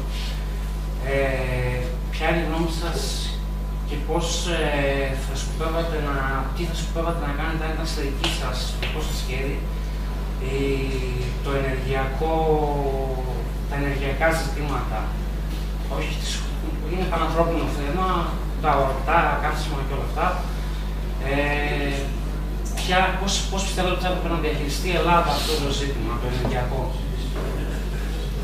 Λοιπόν, κατα, ε, καταρχάς, ε, εμείς είμαστε ενάντια και από θέση αρχής, σαν ΕΠΑΜ, δεν είναι μόνο δική μου προσωπική άποψη, είναι ενάντια στους διεθνείς ενεργειακούς αγωγούς. Θεωρούμε ότι είναι καζοσπέλη και δημιουργία πολεμικών αισθειών. Δεν τους θέλουμε. Ε, γιατί με αυτόν τον τρόπο α, δεν μπορείς να ασκήσεις εθνική ενεργειακή πολιτική. Να αξιοποιήσεις δηλαδή με τον καλύτερο δυνατό τρόπο τους πόρους που έχεις, ειδικά τους αναλλακτικούς πόρους. Πόσο τα παγκόσμια. Πόσο μάλλον, έτσι. Ναι. Λοιπόν, γι' αυτό και εμείς δεν είμαστε υπέρ των παγκόσμιων δικτύων, των παγκόσμιων συστημάτων ενεργεία. Πρέπει να έχει κάθε χώρα να έχει τη δυνατότητα να, το, να επιλέγει και να αξιοποιήσει με ορθολογικό τρόπο και τον καλύτερο δυνατό τρόπο τους δικούς της πόρους. Και εκεί να υπάρχει συνεννόηση. Με αμοιβαία ισοτιμία, ωφέλεια κτλ. Όχι έρχομαι εγώ. Πάντα, πάντα. Ε, προοπτικά, γιατί αυτό δεν μπορεί να γίνει άμεσα. Προοπτικά θα θέλαμε μια οικονομία η οποία να έχει εξαρτηθεί από το πετρέλαιο. Τουλάχιστον σε πολύ μεγάλο βαθμό. Η ελληνική οικονομία ιονή έχει τα δεδομένα αυτά. Ιονή. Έχει, μια, έχει εξαιρετικά γεωθερμικά πεδία, τα οποία δεν έχουν αξιοποιηθεί καθόλου. Είμαστε στην τρίτη γεωθερμική περιφέρεια του πλανήτη, που σημαίνει ότι είναι πάρα πολύ σημαντικό. Αυτό το πράγμα το αξιοποιήσουμε. Εδώ είναι δωρεάν ενέργεια. Όποιος πάει και όποιος ε, έχει πάει στην, ε, με ξεναγήσαν στο γεωθερμικό πεδίο της, ε, στην Ιγρήτα. Το οποίο είναι μάλιστα και αμαθέ σχετικά σαν γεωθερμικό πεδίο. Θα μπορούσες να έχεις παραγωγή ηλεκτρική ενέργεια για ολόκληρη τη Μακεδονία και τη Θράκη. Μόνο από αυτό το γεωθερμικό. Και να είναι τσάμπα. Ξέρω γιατί έχω πάει στην Ισλανδία, όπου εκεί χρησιμοποιούν τα πάντα από το γεωθερμικό τους πεδίο και είναι τσάμπα. Δεν πληρώνει κανένας τίποτα ενέργεια. Είναι, είναι ενέργεια και είναι τελείως καθαρή. Το μόνο που βγάζει είναι νερό. Και μάλιστα έχει δημιουργήσει έχουν δημιουργήσει τις τεχνητέ περίφημες γαλάζιες λίμνες, είναι από το, νερό, το θερμό νερό που βγαίνει ε, από τους μεγάλους τα μεγάλα εργοστάσια ε, ηλεκτρικής ενέργειας από τη γεωθερμία, οι οποίες είναι τουριστικές ατραξιόν, γιατί έχουν ένα, μια θερμοκρασία υψηλή, ακόμη και μέσα στο καταχύμωνο της Ισλανδίας, δηλαδή του Αρκτικού, η χειμώνα. Οπότε πηγαίνει πάρα πολλοί κόσμος σαν τουριστική ατραξιόν. Δηλαδή είναι ένα δείγμα για τον τρόπο που πρέπει να σκεφτόμαστε και να αντιμετωπίσουμε. Δεν είμαστε υπέρ, ακόμη και αν υπάρχουν αυτά τα κοιτάσματα που λένε πετρελαίου, δεν είμαστε υπέρ της αντλήσή τους. Δεν είμαστε της λογικής, γιατί συνολικά το ζήτημα του του πλούτου πρέπει να το αντιμετωπίσουμε με, με, με, με, μεγάλη προσοχή. Ξέρουμε από την επιστήμη ότι όταν έχεις ένα αξιοποιήσιμο ορεικτό, το, το χρησιμοποιείς ελάχιστα, τόσο ώστε να μην κάνεις ανεπανόρθωτη ζημιά στη φύση του φυσικού περιβάλλον.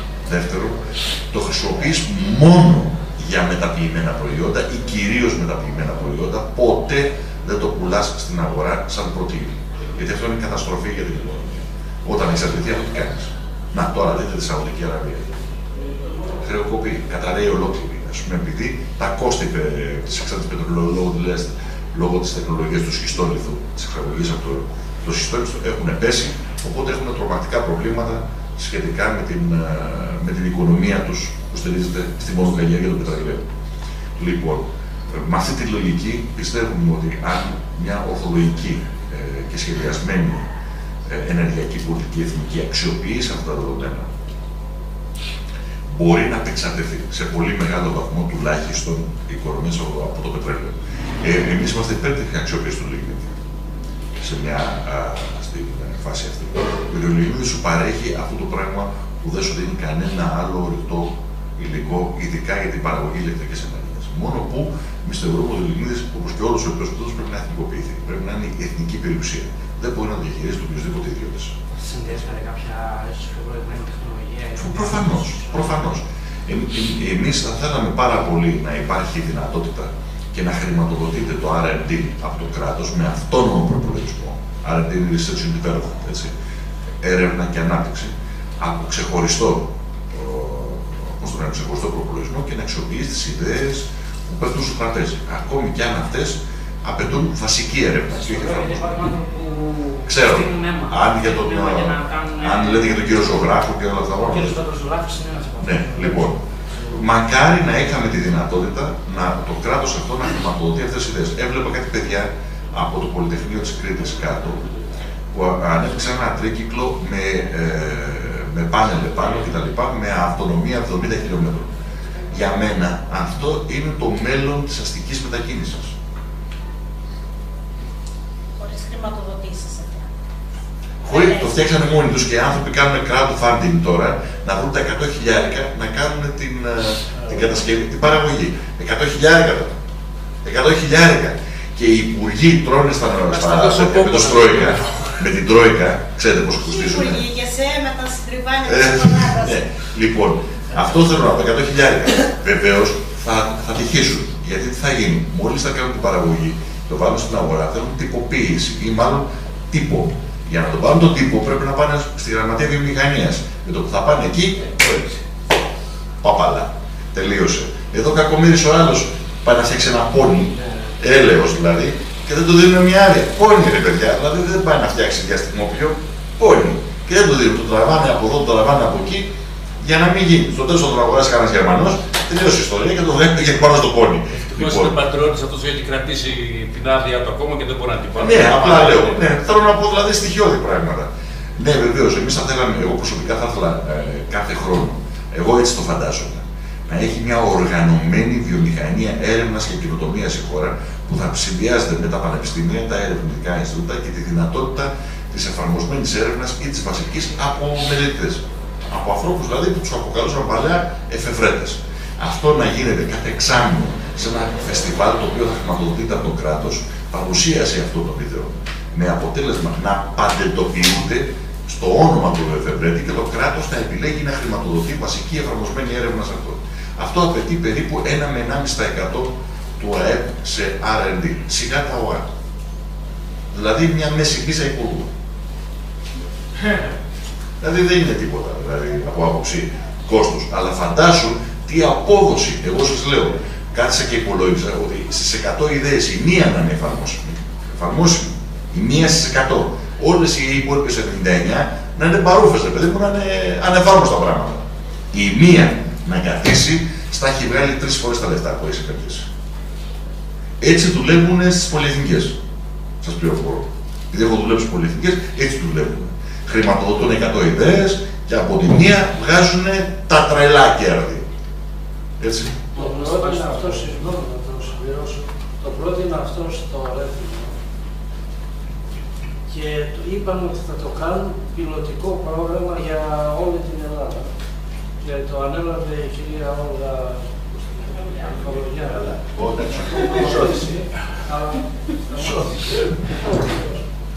Αυτό θέλει εθνική κρατική πολιτική. Δηλαδή να πας στα πανεπιστήμια σου και να πεις: Κοιτάξτε, μάγκες, το, το, το, διδακτικό, το διδακτικό προσωπικό, το επιστημονικό προσωπικό που ασχολείται, είτε είναι καθηγητή διδακτορά και ιστορίας και αυτά τα πράγματα, ασχολείται με δύο πράγματα. Γι' αυτό σε πληρώνει στο ελληνικό δημόσιο και θα σε πληρώνει καλά. Όχι με αυτή την αθλειότητα που έχουμε φτάσει σήμερα. Δύο πράγματα. Το διδακτικό σου έργο και το ερευνητικό. Δεν θέλω τίποτα άλλο. Και θα βάλω και ποιοτικά standards έτσι ώστε να μπορεί να αξιολογείται και να εξελίσσεται κάποιος ανεξάρτητα κρίση του κογκελαδίου. Αν εγώ έχω ερευνητική δραστηριότητα και έχω απόδοση και δημοσιεύσει και τα ρέστα, δικαιούμαι να ανέλθω στις σκάλες. Όχι να εξαρτώμαι από το τάδε κύκλωμα κομματικό ή άλλο για να, για να πάρω και από τα 600 ευρώ να πάω στα 1200. Αυτή η αθλειότητα που υπάρχει αυτή τη στιγμή στα πανεπιστήμια. Και έτσι να είναι βιομηχανία παραγωγής ιδεών και καινοτομιών. Και ξέρω τι γίνεται ακόμη και σε αυτές τι άθλιες συνθήκε.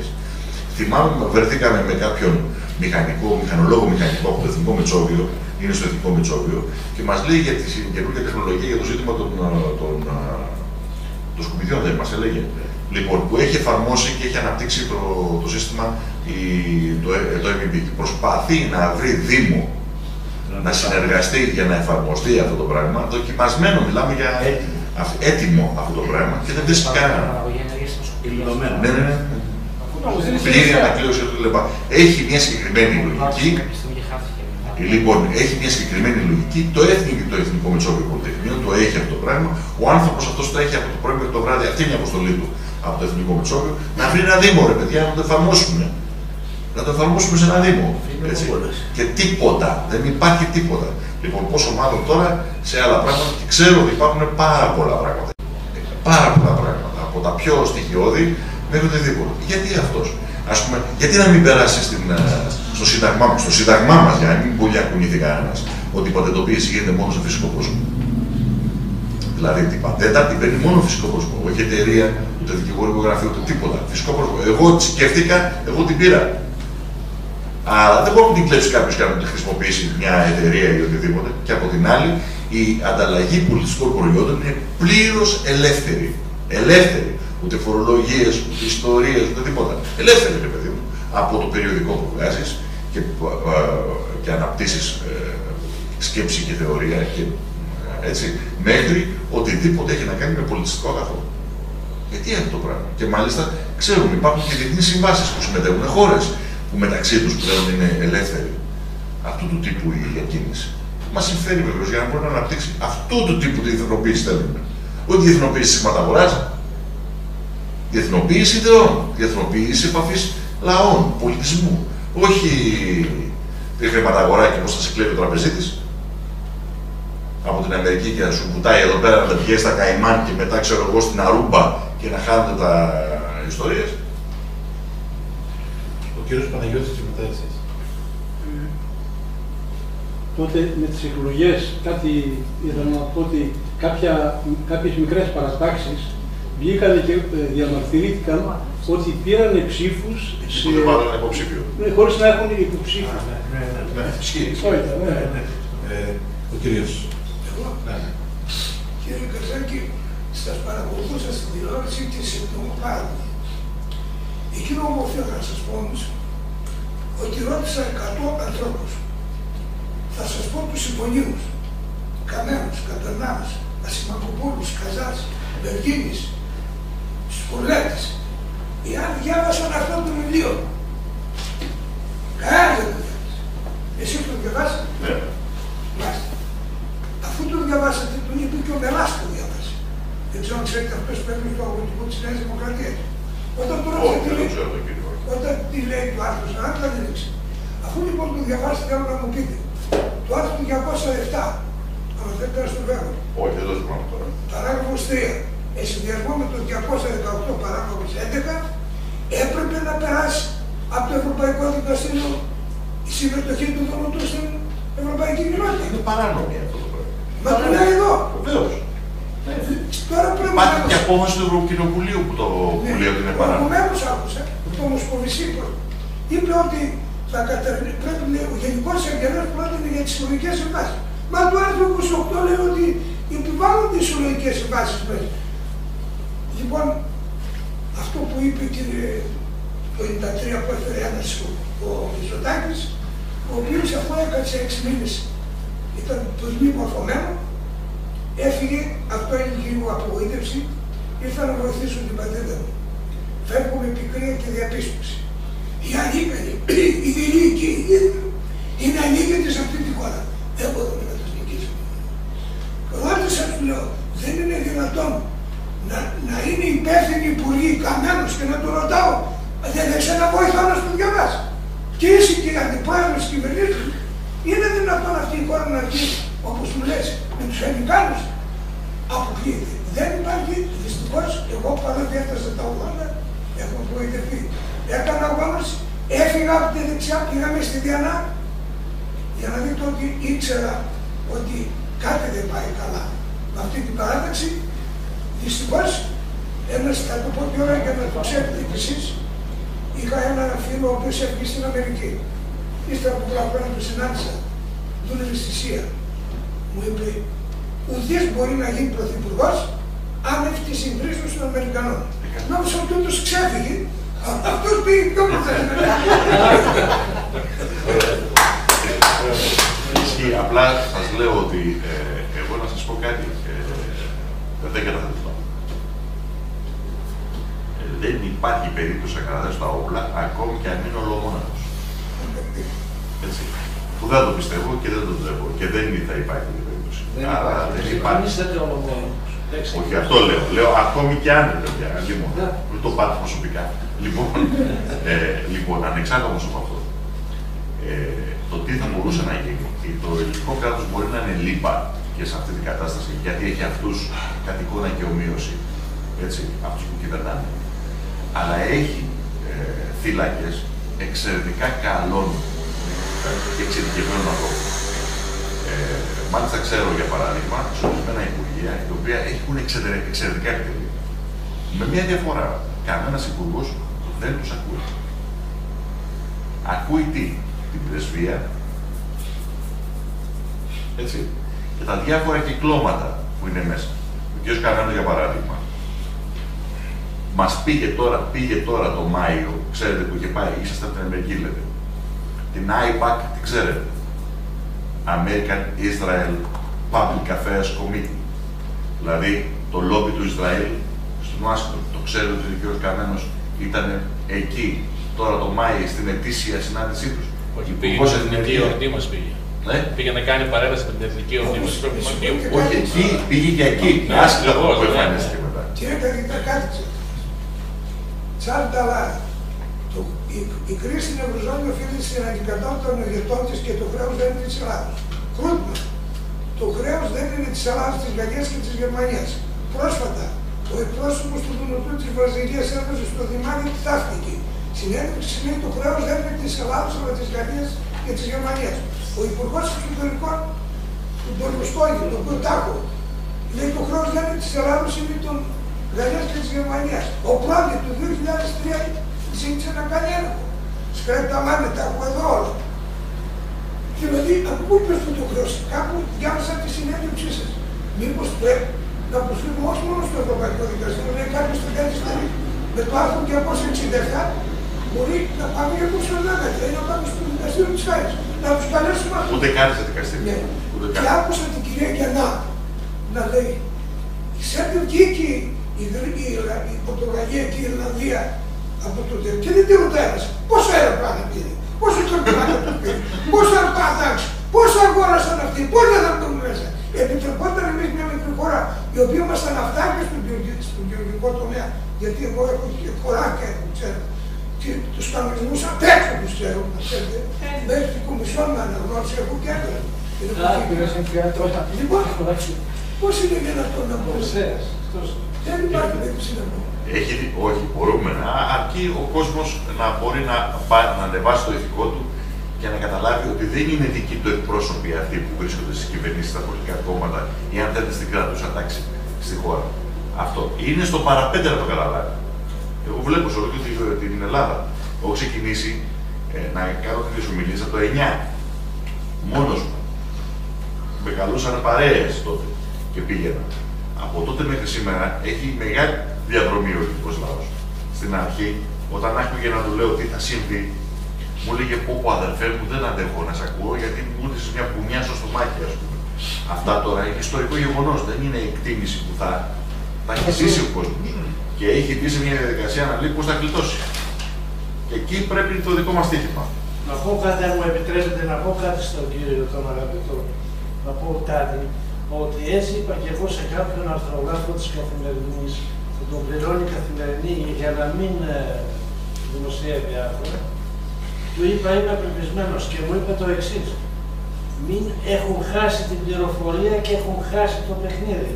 Και εσείς κερδίζετε στα, στα blogs, εκεί πέρα που διαβάζουμε, τις, ακούμε τις ομιλίες σας, βλέπουμε, δηλαδή στον κόσμο τώρα, το, το δικό μας το ηλικιωμένο, έτσι, την παλιά αυτό, δεν θα έχετε μεγάλη αφήχηση. Στους νέους πρέπει να έχετε. Για να το κόψαν από την τηλεόραση δεν δουλεύει. Ναι, αλλά είναι το Ιντερνετ, τους έχει φύγει η πληροφορία. Πάει κάτι, δεν μπορούμε να την μαζέψουμε. Έτσι, άμα λες τον Υπουργό Απαθεώνα, Οι εφημερίδες σφίγγουν και ανεβαίνουν τα blog. Να κάνουν λέει, Οι νέοι να διαβάζουν. κάνουν οι κανόνες της ΕΟ. Αυτή είναι η κανόνα. Ο κύριος. Γεια σας, λέγομαι Διαμαντίδης. Έχω έρθει από την Τολεμαϊδα μόνο και μόνο για να σας ακούσω εδώ. Την Τολεμαϊδα ήρθαμε όλοι σήμερα εμείς για να σας ακούσουμε. Και επειδή αναφερθήκαμε στο θέμα του Λιγνίτη, και επειδή δραστηριοποιούμε και στην περιοχή του Τολεμαϊδα, με ανταλλακτικά ασχολούμαι πρώτα και με αυτά, αυτό που συμβαίνει στην Τολεμαϊδα σήμερα είναι πρωτόγνωρο και πρωτοφανέστατα αυτό που συμβαίνει. Έχουν απαξιώσει τόσο τη, τη ΔΕΗ και το Λιγνίτη, εσκεμμένα, με όλη αυτή την ιστορία. Τώρα κάνουν την πέμπτη μονάδα που δημιουργείται καινούρια και το πρόγραμμά τους δηλαδή να αξιοποιήσουν το λιγνίτη, που είναι ο εθνικός μας πλούτος και μπορούμε να το αξιοποιήσουμε και να μην έχουμε εξάρτηση από κανέναν. Προωθούν την πέμπτη μονάδα να κλείσουν τις υπόλοιπες του λιγνίτη, να φέρουν το φυσικό αέριο με τον TAP 2, αυτή τη, με συγχωρείτε, την παπαριά που έχουν κάνει. Και έχουν μείνει αυτή τη στιγμή, έχουν φύγει 1200 φορτηγά, έχουν σταματήσει, έχουν κάνει πενθήμερο 8ωρο, έχουν φύγει, δηλαδή έχουν καταστρέψει ανθρώπους και εμένα ακόμα που δραστηριοποιούμε στην εκεί με όλη την ιστορία γιατί για να τα πάρει η Τέρνα, ο Μπόμπολας, οι μεγάλοι εθνικοί μας ταβατζίδες για να συνεχίσουν να δουλεύουν αυτοί και έχουν αποξιώσει όλο τον υπόλοιπο κόσμο. Αυτό δυστυχώς συμβαίνει αυτή τη στιγμή εκεί. Θα είμαστε σύντομα και στην Τελεμαϊδα. Ε, θα χαρούμε πάρα πολύ. Μην φύγετε έτσι σε αυτό. Κύριος. Θέλω να κάνω δύο ερωτήσεις και να πω σας για κάτι. Θέλω τη γνώμη σας για κάτι που έχει σχέση με την τηλεόραση. Αρχικά φεύγουμε όλα από την Ευρωπαϊκή Ένωση. Δηλαδή φεύγουμε από όλο αυτό το πράγμα, φεύγουμε από αυτό το φασισμό που μας επιβάλλουν εδώ πέρα. Δεν θα επιδιώξουν να μας τιμωρήσουν αντίπεινα. Δεν θα πω για πόλεμο και τέτοια, με άλλους τρόπους. Μεγάλες ώρες είναι, η ιστορία διαβάζεται 200 χρόνια τώρα, όποτε πήγε να γίνει κάτι, έχουν αποκλείσει τον Πειραιά, για ψιλοπίδημα. Δηλαδή, κλέβανε ληστές στο σπίτι ενός Βρετανού υπηκόου, τα λιμάνια απ' έξω, τα, τα πλοία έξω από το λιμάνι κτλ. κτλ. Δεν θα επιδιώξουν να μας ε, κάνουν αντίπεινα. Και ειδικά αν, αν κάνουμε τη στροφή προς τη Ρωσία βλέπετε. Είναι μια υπόθεση αιώνων αυτή πάλι με τη Ρωσία. Προφητείες, ελπίδες, ποτέ δεν έγινε. Και δεν τα πάνε και πολύ καλά. Ρωσία, Ευρωπαϊκή Ένωση, εμπάργκο ένα στον άλλον, μαλλών κτλ. κτλ. Δεν θα προσπαθήσουν να μας τιμωρήσουν. Αυτή είναι η πρώτη ερώτηση. Η δεύτερη ερώτηση που λίγο την απαντήσατε, ήταν απλά θέλω να το επιβεβαιώσω. Ο μνημονιακότερος των μνημαίων προτέρων, που το λέει τέλος πάντων, ο Γεωργιάδης, στην τηλεόραση, που είναι 15 ώρες την ημέρα και στα ραδιόφωνα, λέει ότι και να φύγουμε από το ευρώ, πάλι θα χρωστάμε. Και θα πρέπει να τα πληρώσουμε στη δραχμή. Και αφού η ισοτιμία θα πέφτει κάθε μέρα, κάθε μέρα, το ευρώ την πρώτη μέρα θα είναι μία 1 προς 10, τη δεύτερη 1 προς 100 κτλ. Θα είναι ακόμη πιο δύσκολο. Αυτό ισχύει. Δηλαδή θα πρέπει να πληρώσουμε στις δραχμές αν φύγουμε το χρέος. Όχι. Και το τελευταίο, πρέπει να κάνει την ελληνική τηλεόραση. Επειδή ο παππού μου μετανάστη στη Γερμανία, η μου Γερμανίδα. Δηλαδή έχω και από εκεί πέρα κρατάω. Η μάνα μου στο σπίτι βλέπει γερμανική τηλεόραση. Είναι συγκλονιστικό το πώς η γερμανική τηλεόραση, κάποια κανάλια λένε την αλήθεια. Δεν φοβούνται, δεν τρέπονται. Και ένα, με συγχωρείτε, γαμημένο ελληνικό κανάλι, δεν έχω βρει εγώ, δεν ξέρω στην Αθήνα τα μικρά, εδώ πέρα πάνω τα πανελλήνια και δεν λέει, δεν έχει εκπομπές, δεν έχει τίποτα που να μιλάει, να λέει την αλήθεια. Αριθμούς, πράγματα. Δηλαδή θυμάμαι, επειδή δεν βλέπω γενικά τηλεόραση, ένα απόγευμα που ήταν και η μάνα μου, το 2006 οι Γάλλοι με τους Γερμανούς λέει συμφωνήσανε να πάρουν την Ευρωπαϊκή Ένωση στα χέρια τους και κάνουν τι θέλουν. Τώρα η γερμανικό κανάλι, έλεγε γερμανικό κανάλι ότι η χώρα μας το αποφάσισε. Και σε εμά δεν υπάρχει ένα κανάλι που να αποκαλύπτει την αλήθεια, που να ξεμπροστιάζει τους Γερμανούς ή εμάς τους πολιτικούς. Και η, η, η, η, τηλεόραση είναι τέτοια αλήθεια, είναι η βίβλος που την ημέρα του υποψηφίσματος, τότε έκανα πρακτική στην Κωνσταντινούπολη εκεί πέρα και γύρισα άλλον άλλο για μόνο και μόνο για να ψηφίσω. Και μάλλον εκεί με κάνουμε κουβέντες. Και ένα παιδί μου λέει, είδα λέει στην τηλεόραση ένα οικονομολόγο που είπε αυτό, αυτό και αυτό. Λέω ποιον οικονομολόγο, λέει το Παπαδημητρίου του Sky. Του λέω πόσο ξέρω, δεν είναι οικονομολόγος. Απλά επειδή κάνει αναλύσεις επί των πάντων, σου λέει, μιλάει για οικονομικά, αυτός είναι οικονομολόγος. Μου κάνει και το παιδί είναι νέο, γιατί η ηλικία μου είναι 25 και μου έκανε τρομερή εντύπωση. Λέω, τι είναι τώρα, τι οικονομολόγο. Δηλαδή, άμα βγω έξω και αρχίζω να μιλάω για την νομική σημαίνει ότι είμαι δικηγόρος και τα. Και σα είχα εντοπίσει το 2011-2011 μέσω τηλεόρασης τότε στον κύριο Παπαδάκη. Θέλω αυτό να μου βεβαιώσει ότι βγαίνετε αρχικά ως οικονομολόγος και σα έδειχνε. Δηλαδή, συχνά βγαίνετε. Όταν άλλαξε η ιδιότητά σας και βγαίνετε και ως πολιτευτής ε, πολίτης, σας έκοψε. Ισχύει αυτό; Λοιπόν, θα να πω. Αυτά, αυτά είναι, δηλαδή οι δύο ερωτήσεις και. Λοιπόν, ο κύριος Παπαδάκη, με τον κύριο Παπαδάκη μου, μου είχε πει ότι θα με έβγαζε μία φορά την εβδομάδα έτσι για να δω την οικονομική εικόνα. Μέχρι που έγινε το επεισόδιο με τον κύριο Μιχελάκη, όπου ο κύριος Μιχελάκης ε, με προκάλεσε, σηκώθηκα επάνω, όχι δεν σηκώθηκα επάνω και του λέω δεν τρέπεστε, πουλάτε τη χώρα και από πάνω μου μιλάτε και έγινε χαμός. Στο παρασκήνιο παραλίγο να παίξουμε ξύλο, έφερε τους ασφαλίτες μέσα να πήλησε, πέσανε οι τεχνικοί στη μέση, δεν με ενδιαφέρει εμένα, θα του είχα τσακίσει τα γόνατα, έτσι και έκανε βήμα. Λοιπόν, με αποτέλεσμα στο να παίρνει πάρει τηλέφωνο του Κυριακού και όπως μου είπε ο κ. Παπαδάκης, κόπηκα διαπαντός. Την ίδια μέρα ο Κοντομινά έκοβε την ραδιοφωνική εκπομπή ε, στο ράδιο 9 που υπήρχε την, τότε με το Μάν του Εκλαμάνου. Παρά το γεγονός ότι από αυτά έχασε πάρα πολλά λεφτά γιατί έπεσε τελείως η ακραματικότητα του σταθμού. Τότε είχε 14-16% ακραματικότητα. Τηλεοπτικό δίκτυο είχε δηλαδή και έπεσε στο 0,1. Θανάτωσε, έχασε μερικά εκατομμύρια. Βεβαίως τα πήρε από την τράπεζα δωρεάν μετά. Κοντομινάδε και λοιποί. Λοιπόν, και έτσι έλεγε. Ε, αυτό τι δείχνει, γιατί συμβαίνει αυτό, Γιατί είναι φοβερά μονοπολιμένη η, τηλεοπτική, η αγορά των ειδήσεων στην, ε, στην Ελλάδα. Τρομερά. Σε καμία ευρωπαϊκή χώρα δεν υπάρχει που πάει στην Ελλάδα. Δεν μπορείς να φανταστείς τι σημαίνει καναλάκι στην Ελλάδα. Στην Ελλάδα. Εγώ το ζήσα λόγω αυτού του πράγματος. Δεν το πίστευα για σαν πολίτης. Ε, δεν υπάρχει τίποτα το πιο ιδέο, το πιο πρόστιχο. Δεν μπορείς να φανταστείς. Και μερικές φορές στους δημοσιογράφους ε, τους συμπονώ, όχι αυτούς που κάνουν τη δουλειά, έτσι, αλλά τους συμπονώ. Δηλαδή το να ζεις και να δουλεύεις σε τέτοιο καθεστώς με τέτοιο εργοδότη και να σου λέει θα πεις αυτό, όχι δεν θα πεις το άλλο, τέτοια πράγματα. Αυτό δεν ισχύει πουθενά άλλου στο, στο, σε τέτοιο βαθμό. Ενώ βεβαίως υπάρχει έλεγχος, αλλά όχι σε τέτοιο βαθμό. Σε τέτοιο βαθμό. Και μάλιστα στημένε εκπομπές να σου κάνουν να, να μην σου επιτρέψουν ακόμη και όταν σε βγάζουν να μιλήσεις. Απέκτησα τη δυνατότητα, γιατί με ξέρω στην αρχή, ας πούμε, με φέρνανε ε, σε, σε πάνελ, όπου ήταν άλλοι 20. Ε, ήξερες ότι στις δύο ώρες το μόνο που είχες δυνατότητα να, να πετάξεις 10 τάκες. Δεν μπορούσε να γίνει συζήτηση τώρα με 20 ανθρώπους στο πάνελ. Λοιπόν, οπότε τι έγινα, έκανα τα καθόρος. Προσπάθησα. Δηλαδή τεχνικές. Αυτός όμω δεν είναι πολιτικός διάλογος, ούτε ενημέρωση. Το πολύ πολύ να κερδίσει εντυπώσεις. Να πει ο άλλος, Ο του τάπωσε πάλι. Ε, ναι, αλλά αυτό δεν λέει τίποτα για το διατάφτα. Και τελείωσε εκεί όταν πλέον το θέμα μπήκε ότι υπάρχει και πρόταση. Παιδιά δεν είναι μόνο η ανάλυση, είναι και η πρόταση. Την κάνουμε την ανάλυση για να οδηγηθούμε στην πρόταση. Δεν την κάνουμε την ανάλυση για να είμαστε ωραίοι, ωραίοι αναλυτές. Υπάρχει συγκεκριμένη πρόταση. Να τη συζητήσουμε. Προσπάθησαν να με γελιοποιήσουν δύο-τρεις φορές. Με φέρανε απέναντι σε καθηγητάδες, ιστορίες κτλ. Όταν είδανε ότι αυτός που γελιοποιείται δεν είμαι εγώ, κόπηκα παντού. Κόπηκα παντού με εξαίρεση τον κύριο Λιάτσο που με καλεί αραιά και που. Στο Λοιπόν, ε, σε αυτή την ιστορία. Και ο λόγος είναι πολύ απλός. Όπως μου εξήγησε και ο ίδιος. Παίρνει κεφάλι, παίρνει κεφάλι εκπομπή έναντι του ελληνικό του Χατζη Νικολάου που είναι ο απέναντί του την ίδια ώρα. Δεν τυχαίο ότι με βγάζει Δευτέρα, ακριβώς κόντρα στον ελληνικό και μου ο άνθρωπος και δικαιολογημένα δεν το. Έτσι. Λέει, όταν βγαίνει εσύ, πα, παίρνουμε στην τηλεθέαση και αυτά τα πράγματα. Και αυτό με και ικανοποιεί και εμένα, γιατί έχω ένα βήμα το ελάχιστο. Με σέβεται ο άνθρωπος, δεν μου κάνει, αν και δεν περνάνε πλέον, είμαι αρκετά έμπειρος ώστε και τις παγίδες να αποφεύγω. Αλλά τέλος πάντων, με σέβεται ο άνθρωπος, δεν είναι κάτι το οποίο. Δηλαδή, με αφήνει να πω αυτά που θέλω να πω, μου δίνει το χρόνο και γι' αυτό και δέχομαι. Γιατί για παράδειγμα δεν θα πήγαινα σε μια εκπομπή τώρα πλέον, η οποία έχει άλλους 40 ή 20 καλεσμένους, για να το παίξω παντανό και εγώ. Με έχουν καλέσει, ο κ. Τράγκα, ας πούμε. Δεν πάω.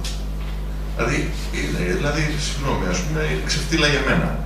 Να δέχομαι να είμαι εκεί για να πω τι, ας πούμε, να πετάξω μια ατάκα και να πούνε μετά ο κάθε επικραμμένο το, το δικό του πόνο, να ακούω ανθρώπους, ας πούμε, τους οποίους δεν τους σέβομαι αφενός και άλλα, αυτούς και που σέβομαι, να μην ξέρουν το θέμα και να πετάνε ανοησίες και δεν θέλω και να. Εγώ δεν είμαι άνθρωπος ο οποίος θα το διορθώσω. Εκτός και αν είναι προκλητικότητα του τύπου Γεωργιάτση, ας πούμε, οπότε δεν έτσι. Λοιπόν, τώρα, στα, επί της ουσίας, τι μπορούν να μας κάνουν; Ε, α, αν βγάλουμε τον πόλεμο έξω. Λοιπόν, το δυστύχημα με δάφνου είναι ότι μετά τον Δεύτερο Παγκόσμιο Πόλεμο έχουμε ένα πολύ αυστηρό διεθνές πλαίσιο με νομικούς κανόνες, πολύ αυστηρούς. Και 193 χώρες μέλη του ΟΗΕ, οι οποίες έχουν διάφορα συμφέροντα. Έτσι δεν είναι εύκολο για αυτούς να κάνουν αυτά που κάνουν στο 19ο αιώνα. Αποκλεισμούς, κατοχέ, επειδή ξέρω εγώ, ο, πώς το λένε, ο Φίνλεϊ είχε ξεχάσει τα, πώς το λένε, την οικοσκευή του εδώ πέρα και την πήρε το ελληνικό κράτος. Εκεί, το αγγλικό Δεν είναι εύκολο σήμερα πρέπει να βρουν νομότυπους λόγους για να επέμβουν στα στρατιωτικά. Γι' αυτό και φτιάχνουν διάφορα παραμύθια που έχουν βάλει τον ΟΗΕ και έχει βγάλει κάποιες αποφάσεις, πατάνε πάνω. Αλλά και πάλι πρέπει να υπολογίζουν ότι αν κηρύξουν την Ελλάδα σε εμπόλεμη ζώνη, αυτόματα το εμπόριο Ανατολής Δύσης κατέρευσε. Έτσι, ε, από την Τουρκία ή από το Port of Side που έρχεται το εμπόριο από την Κίνα ή από την Ανατολή. Αυτό το πράγμα είναι το 60% του, του διακοπτακομιστικού εμπορίου περνάει από εδώ. Αυτό το εμπόριο, εάν γίνει εμπόλεμη ζώνη, αυτόματα μόνο τα ασφάλιστρα θα εκτιναχθούν στα ουράνια. Οι ασφαλιστικές εταιρείες δηλαδή αμέσως. Αυτό σημαίνει τρομακτικό κόστος. Και αυτό το πληρώσει ο, ο Ευρωπαίος καταναλωτής ποτέ εκεί. Έτσι. Άρα δεν θέλουν εμπόλεμη ζώνη την περιοχή. Ένας από τους λόγους, ας πούμε, θα μπορούσα να το εξηγήσει και ο Δημήτρης, που δεν έγινε εμπόλεμη κατάσταση στα ίμια το 1996, είναι δεν αντέχανε έστω και μία μέρα να κηρυχθεί το Αιγαίο σε εμπόλεμη ζώνη. Δηλαδή, να χτυπούσε το ελληνικό πολεμικό ναυτικό του το τουρκική φρεγάτα, να χτυπούσε η τουρκική φρεγάτα. Μετά, εντάξει, τα επεμβαίνανε οι Αμερικανοί, δεν υπήρχε περίπτωση έτσι να σταματάγανε τα πράγματα. Αλλά δύο-τρει μέρες, τέσσερις θα ήταν πόλεμη ζώνη το ίδιο. Και μόνο η αναταραχή που θα γινόταν. Τι σημαίνει, αεροπλάνα δεν μπορούσαν να πετάξουν από πάνω. Καράβια δεν μπορούσαν να περάσουν, εμπορικά δηλαδή θέλω να πω. Έτσι, στην Ελλάδα δεν θα μπορούσαν να περάσουν φορτηγά αυτοκίνητα, δηλαδή τα που πηγαίνουν ε, Δύση Ανατολία, το εμπόριο, που είναι πολύ σημαντικό, έχει δηλαδή εγκληματία εδώ, είναι πολύ σοβαρό. Είναι ο βασικός δρόμος αυτός. Λοιπόν, μόνο, μόνο τα ασφάλιστρα τα κτηνόζαν να η μετακίνηση σε διαφορετικούς δρόμους θα αύξανε τα κόστη μεταφοράς. Ένα καράβι, ένα καράβι με μέσο κόστος ενός εκατομμυρίου την ημέρα, που είναι ένα μέσο ε, πλοίο μεταφοράς container, εάν παρακάμψει την Ελλάδα και πάει, ας πούμε, για παράδειγμα, Γένοβα ή πάει Μασαλία ή οτιδήποτε, ε, θα έχει κάθε μέρα ένα εκατομμύριο δολάρια επιπλέον κόστη. Χώρια, τα ασφάλιστρα, τα επίναυλα και όλες τις ιστορίες. Καταλαβαίνεις τι σημαίνει αυτό από άποψη κόστο. Και γιατί η Κόσκο έτρεξε να αγοράσει το λιμάνι του Πειραιά. Είναι πολύ σημαντικά γεωστρατηγικά πλεονεκτήματα αυτά. Άρα δεν θα το ρισκάνουν. Τι θα μπορούσαν να σου κάνουν. Πρώτα θα, θα, σε, θα σε βγάλουν εκτός χρηματαγορών. Ευχαριστώ πάρα πολύ, δεν θέλω να ξαναπάω. Στόχος είναι να μην ξαναδανειστούμε τι διεθνείς χρηματαγορές. Το έχω γλύφει, άρα τι κυβέρνηση μέσα. Τι πάτησες. Εκεί. Λοιπόν, τι άλλο μπορούν να σου κάνουν; Να σου κάνουν εμπάργκο δεν μπορούν. Είναι εύκολο να το σπάσεις. Εύκολο να το σπάσεις. Είναι δύσκολο να το πάρουν σαν απόφαση. Είναι εύκολο να το σπάσεις εσύ. Εδώ μεταξύ. Λοιπόν, τι μπορούν να, να σου κάνουν; Θα περιμένουν να κατασταλάξει η κατάσταση στην Ελλάδα. Να δουν το νέο πολιτιακό και πολιτικό σύστημα που διαμορφώνεται και να δουν τι μπορούν να εξαγοράσουν. Αυτό που κάνανε στην Αργεντινή. Τι έκανε, είχε μια κυβέρνηση στην Αργεντινή, η οποία δεν έκανε μια παστατική κυβέρνηση, είπε διαγράφω το 70% του χρέους, πετάω έξω την, το 70% και από πού προέκυψε το 70% του χρέους, προέκυψε από το υπόλοιπο 30% μπορώ να το εξυπηρετήσω χωρίς να βγαίνω στις αγορές να δανείζω. Και έτσι, επειδή 13 χρόνια η Αργεντινή κράτησε, πήγε καλύτερα, σώτησε την καταστροφή και την εξοπαίδωση και την ίδια ώρα δεν δανειζόταν ούτε δολάριο από τις διεθνείς αγορές. Και τι κάνανε οι μάγκες; Ενώ εξαντλήσανε κάθε πίεση, βγάλαν τα δικαστήρια και φωνάζανε και ιστορίες από τα Αμερικάνικα δικαστήρια και δεν καταλάβαινε τίποτα η κυβέρνηση της Φερνάντες. Και τι κάνανε; Στήσανε το παιχνίδι και ρίξανε τη Φερνάντες στο κοινό χρησιμοποιώντας το εκλογικό σύστημα της χώρας. Βγάλανε έναν καινούργιο πρόεδρο, ο οποίος είναι πλήρως εξαγορασμένος. Και τι έκανε, το πρώτο πράγμα που έκανε είναι να συμφωνήσει με τους Αμερικανούς και να βγάλει την αγορά, την, την Αργεντινή, να δανειστεί από τις διεθνεί αγορές 16 δισεκατομμύρια. Τελείωσε. Τελείωσε αυτή η ιστορία. Τώρα, τώρα έχει ξεσηκωθεί ο κόσμος στην Αργεντινή. Βάζει φωτιές στις πόλεις και όλα αυτά τα πράγματα. Δεν ακούμε τίποτα.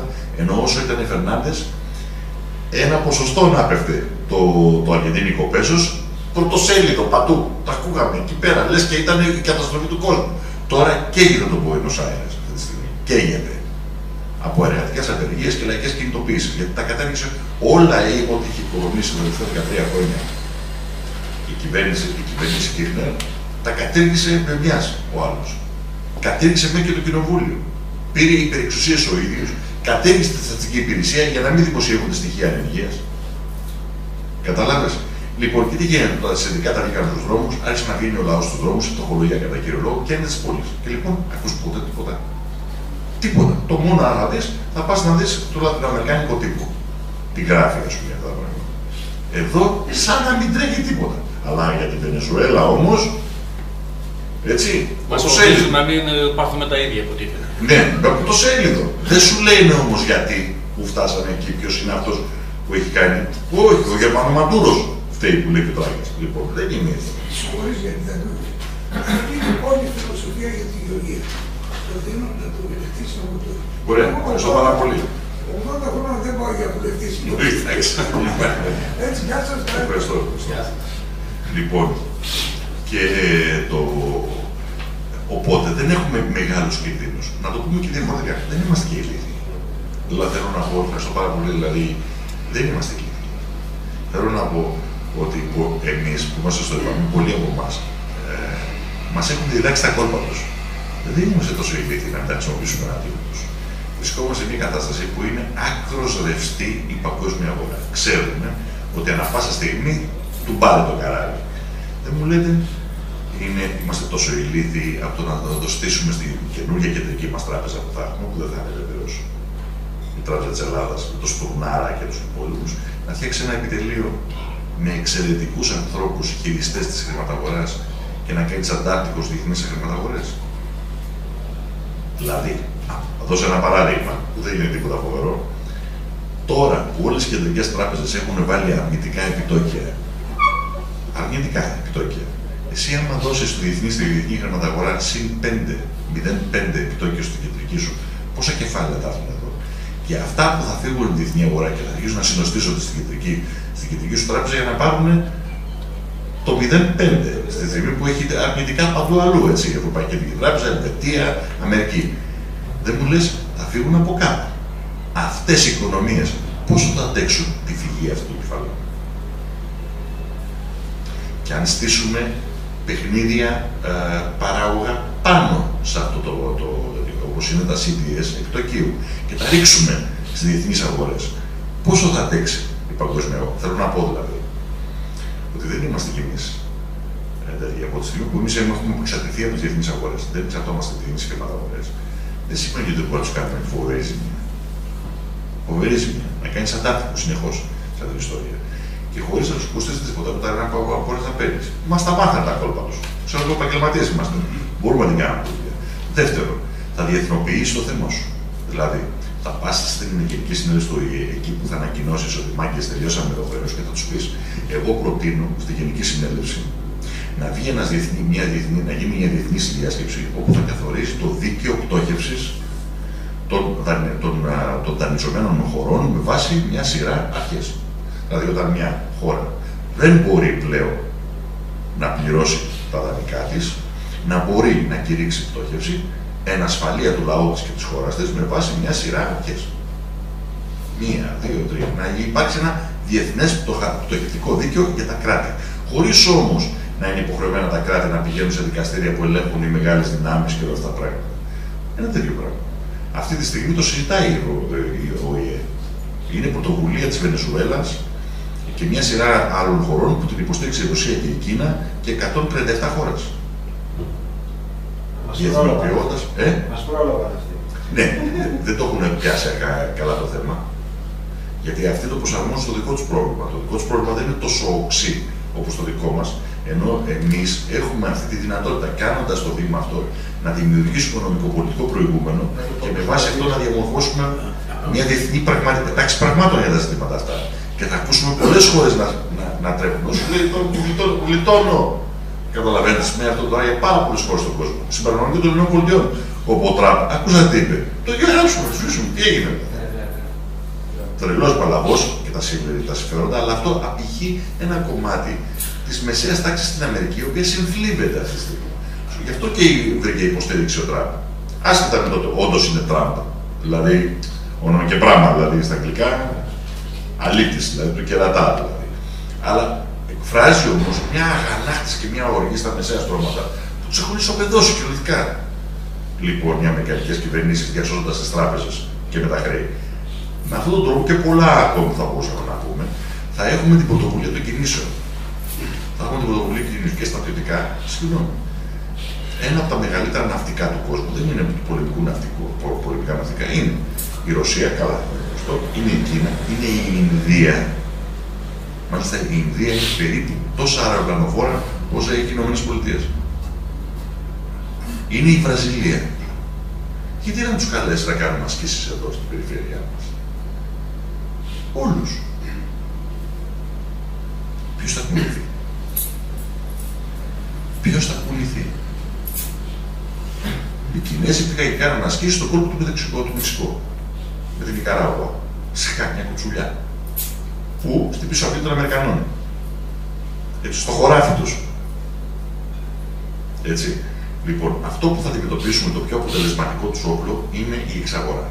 Και η εξαγορά αξιοποιώντας τυχόν αντιθέσεις στο πολιτικό μας σύστημα. Δηλαδή, όταν θα μας δουν εξουσία, όχι μόνος, μόνο το ΕΠΑΜ, έτσι, το, το νέο πολιτιακό καθεστώς, θα αρχίσουν και να κάτσε αυτός τι αδυναμία έχει. Ε, ο άλλος, ποιες φιλοδοξίες του, και θα τον πλησιάσουν έτσι. Να το χτυπήσουν. Αλλά αυτό όμως έχει να κάνει με εμάς φτιάξουμε μια δημοκρατία που θα είναι θωρακισμένη, που δεν θα εξαρτάται από τον Δημήτρη Καζάκη ή τον οποιοδήποτε, αλλά θα εξαρτάται από τον λαό τον ίδιο. Και ο ίδιος ο λαός θα έχει δυνατότητα να γεννάει εφεδρείες ακόμη και αν χάνει κεφαλές. Με ένα σύνταγμα δικό μας. Όχι μόνο, αλλά θέλω να πω ότι είναι και η παιδεία χρειάζεται και ιστορίε. Γιατί Γι' αυτό και εγώ θεωρώ ότι ο, λαό, ο λαός μας θα μπορεί να πει ότι είναι ελεύθερος και πραγμα, πραγματικά ελεύθερος όταν θα βρουν οι πρώτοι ακαδημαϊκοί πολίτες από το νέο εκπαιδευτικό σύστημα που θα εφαρμόσει η Νέα Ελλάδα που θα τα πάρει από τα, τα παιδιά από, την, από το νηπιαγωγείο, θα τα περάσει από το νέο δημοτικό σχολείο, από το 12χρονο σχολείο, το υποχρεωτικό, με το που θα, τελειώνει, με το που θα τελειώσει τα 12 χρόνια αυτά. Φαντάζομαι όχι γενιά, ε; Φαντάζομαι όχι του Όχι βέβαια. Αυτή η γενιά θα είναι η πραγματικά ελεύθερη γενιά Ελλήνων. Θα έχουν μάθει τελείως διαφορετικά. Θα γυρίσουν στον παππού και θα λένε ρε παππού, σοβαρά τώρα. Υπήρχε εποχή που οι τράπεζες πέτα σπίτια φαίνεται τρελό, ας πούμε, θέμα προσωπική αξιοπρέπεια. Αυτά τα πράγματα. τότε θα είμαστε πραγματικά ελεύθεροι. Θα έχουμε τέτοιους ανθρώπους. Πραγματικά νέους ανθρώπους οι οποίοι θα, παίρνουν τη, τη, χώρα στα χέρια τους και ξέρουν ότι υπερασπιστούν επιτέλου. Γιατί τελικά το βασικό ζήτημα είναι η παιδεία μας. Και τελικά, σε τελευταία ανάλυση, το σύστημα παιδείας. Έτσι. Και αυτό το πράγμα Και θα γίνει ρε παιδιά, γιατί ξέρετε ποιο είναι το θέμα. Όχι μόνο γιατί δεν μας επιτρέπεται να μην γίνει. Και εγώ βαθιά πίστη σε αυτό το λαό, όχι θεολογική, αλλά ιστορία το αποδεικνύει. Ιστορία το αποδεικνύει. Δυόμιση χιλιάδες χρόνια και κράτησε, κράτησε επιδρομές επί επιδρομών και το αφομοίωνε αυτό το πράγμα. Τέτοια δύναμη. Και θα το χάσω τώρα. Με τίποτα. Με τίποτα. Ό,τι και να πάθουμε θα πάμε, θα τη βγάλουμε καθαρή, αλλά θέλει δουλειά. Θέλει λίγο δουλειά από τρία. Πώς να κάνουμε. Εντάξει, ε, επιτέλους. Ε, ξεκουραστήκαμε πολλές δεκαετίες. Καιρός να κουραστούμε. Έτσι. Ο κύριο. Συγγνώμη, ο κύριος. Σχετικά με το δημοψήφισμα, ε, απειλήθηκε ο Τσίπρας κάποια στιγμή ή δεν θα έπρεπε να ξανακάνει δημοψήφισμα, ναι ή όχι στο ευρώ; Κανονικά αυτό θα πρέπει να το δημοψήφισμα. Ναι ή όχι στο ευρώ. Έτσι. Και αυτό το χαρακτήρα έχει πάντα το ψήφισμα. Γιατί αν θυμόμαστε, τι μας λέγανε; Έτσι ρε και αρατάδε και ψηφίστε όχι, θα μας πετάξουν έξω, θα μας πάρουν τα γουρούνια, θα, οι κατσίκες θα πάθουν λαχτάρα, οι, τα πρόβατα θα, θα μεταναστεύσουν και οι αγελάδε θα αυτοκτονήσουν. Αυτό δεν μας λέγανε. Και θα πέσει και ο ουρανός κοντίνι. Αυτό μας λέγανε. Έτσι και ψηφίζαμε όχι. Στην ουσία είναι σαν να μας πετάγανε έξω από το ευρώ. Αυτό μας λέγανε. Και παρόλα αυτά, ο ελληνικό λαός έλεγε, όχι παιδιά, φτάνει. Θέμα αξιοπρέπειας θέμα αξιοπρέπειας. Αυτό με βάση τα, την, ε, αν είχαμε δημοκρατία, είναι εκτελεστή λαϊκή εντολή. Δεν χωράει η δεύτερη κουβέντα.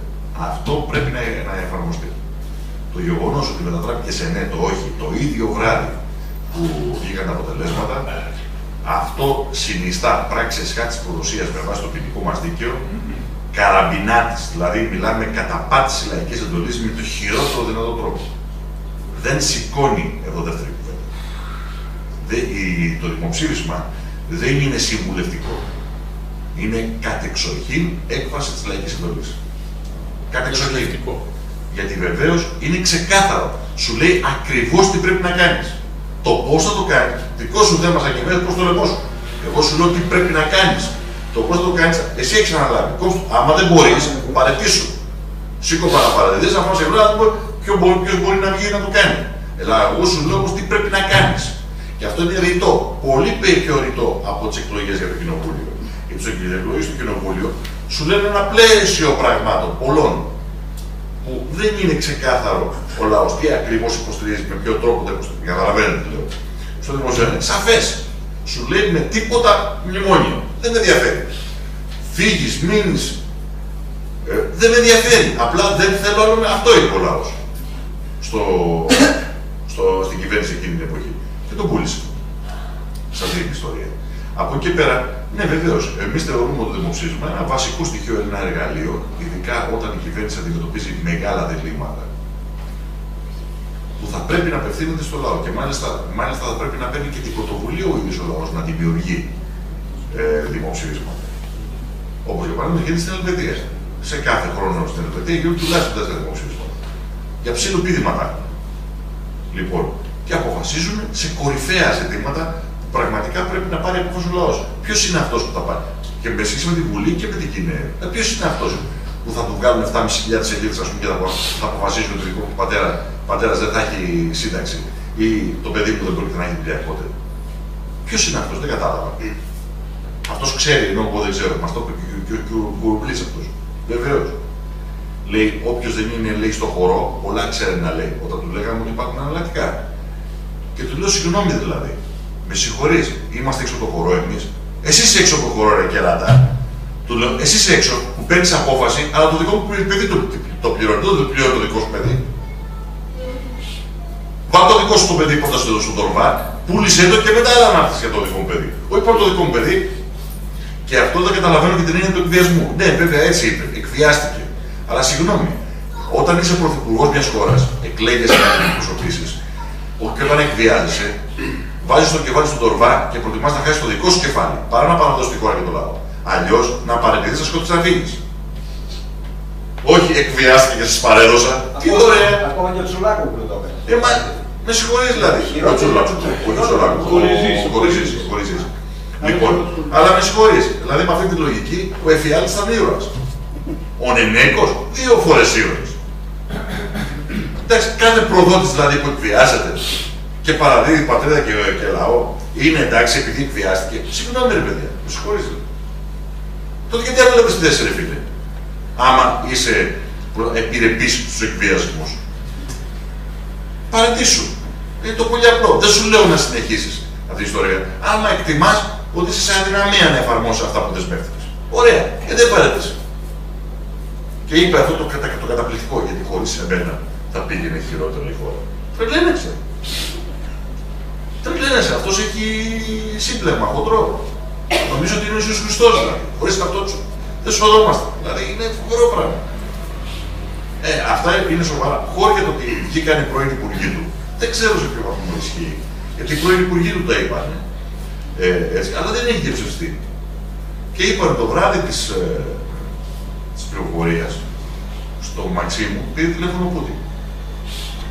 Και του είπε, εάν αποφασίζεις να φύγεις από την Ευρωπαϊκή Ένωση, να φύγεις, έτσι, εγώ είμαι εδώ.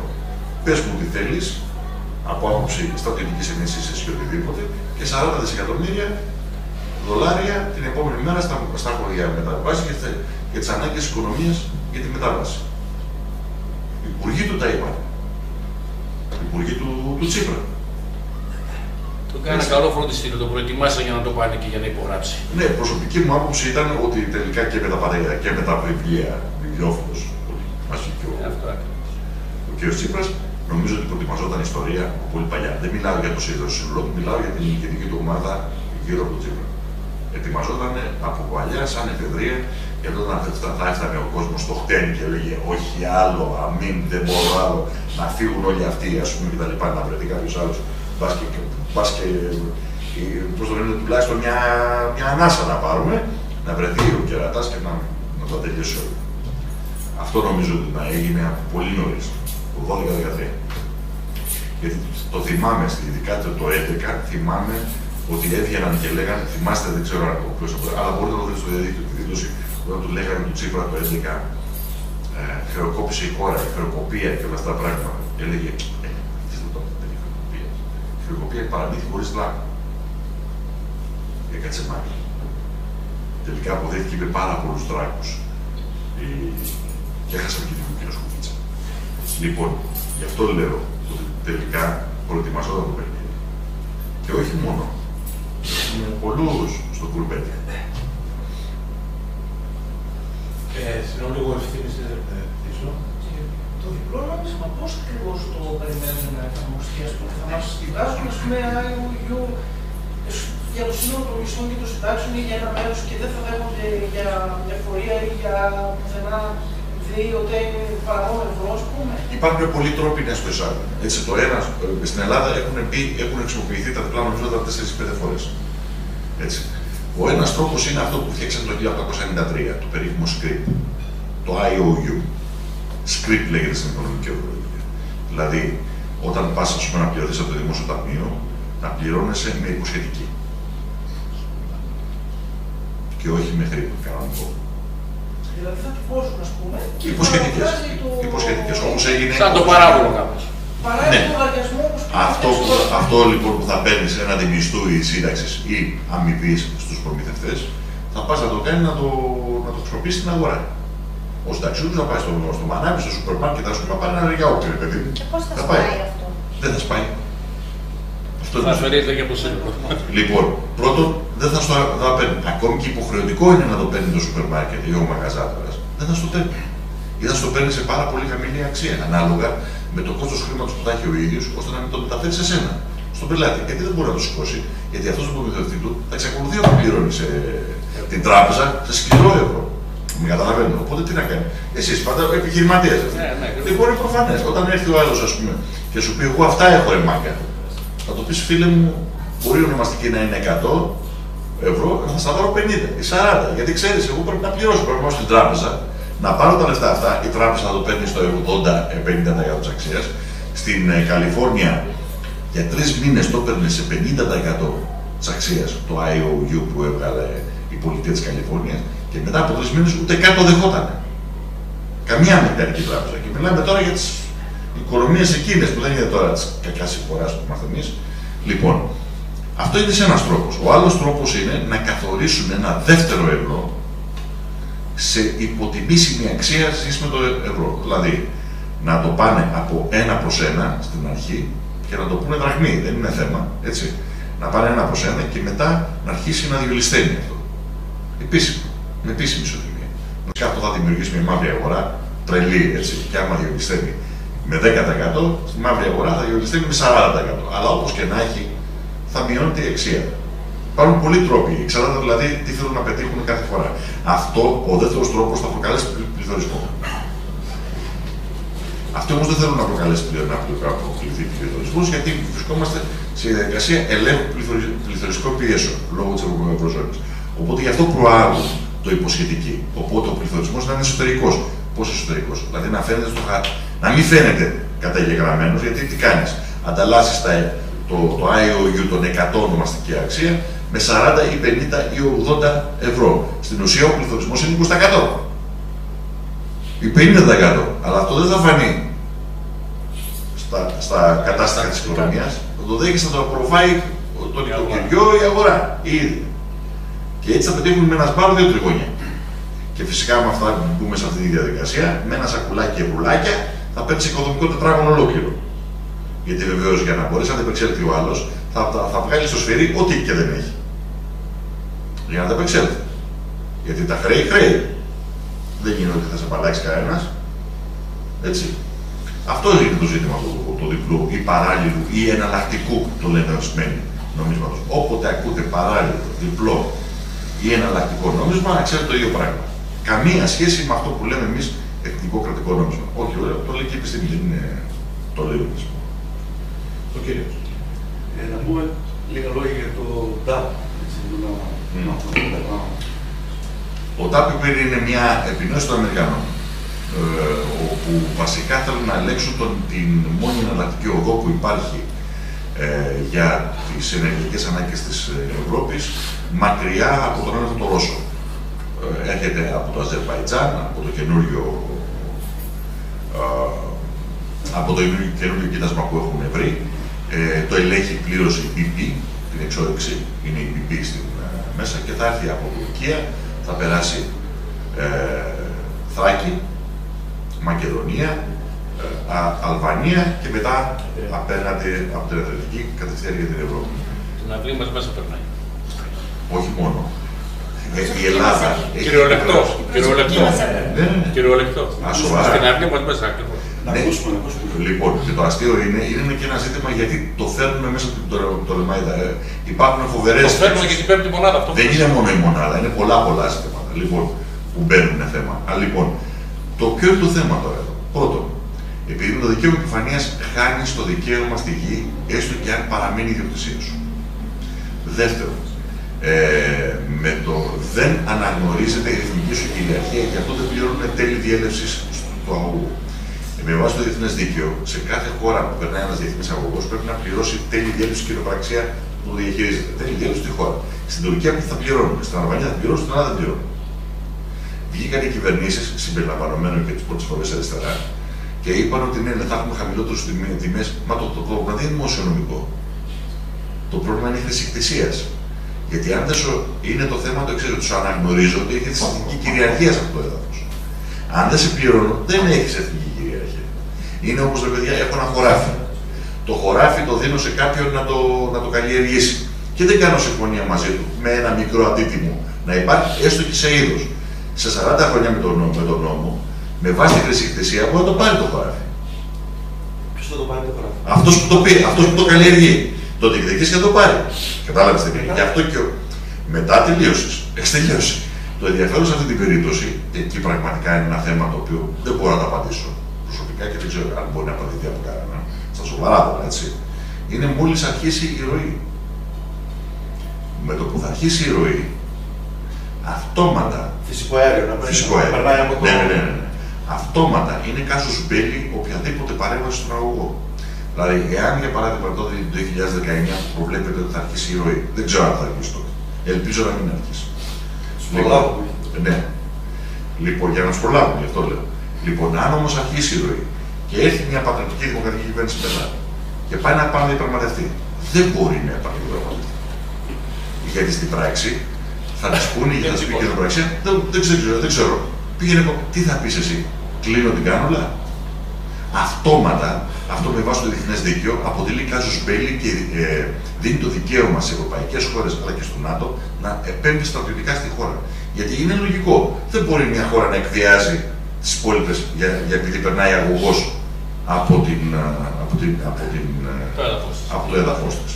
Και έτσι υπάρχουν προβλέψεις τέτοιες, χώρια για το ότι την ασφάλεια του αγωγού την αναλαμβάνει με ειδικό πρωτόκολλο το ΝΑΤΟ. Στρατιωτικές δυνάμεις του ΝΑΤΟ. Έτσι. Λοιπόν, το οποίο θα, το οποίο θα δουλεύουν εκεί, βλέπετε που μαζεύουν τον κοσμάκι που ήρθα τα και του δεν τυχαίο τους μαζεύουν έτσι. Λοιπόν, και εδώ, αλλά και για άλλου και σε άλλες περιοχές για ευνόητου λόγους. Λοιπόν, αυτός είναι Γι' αυτό και εμείς από την αρχή είπαμε καμία σχέση με διεθνείς αγωγούς. Όπου περνάνε ή όπου έχουν προσχεδιάσει να περάσουν, διαλύονται χώρες. Γίνονται πόλεμοι, γίνονται φίλοι, σε τι δουλειά έχουμε εμείς τώρα. να συμφέρον. Ναι.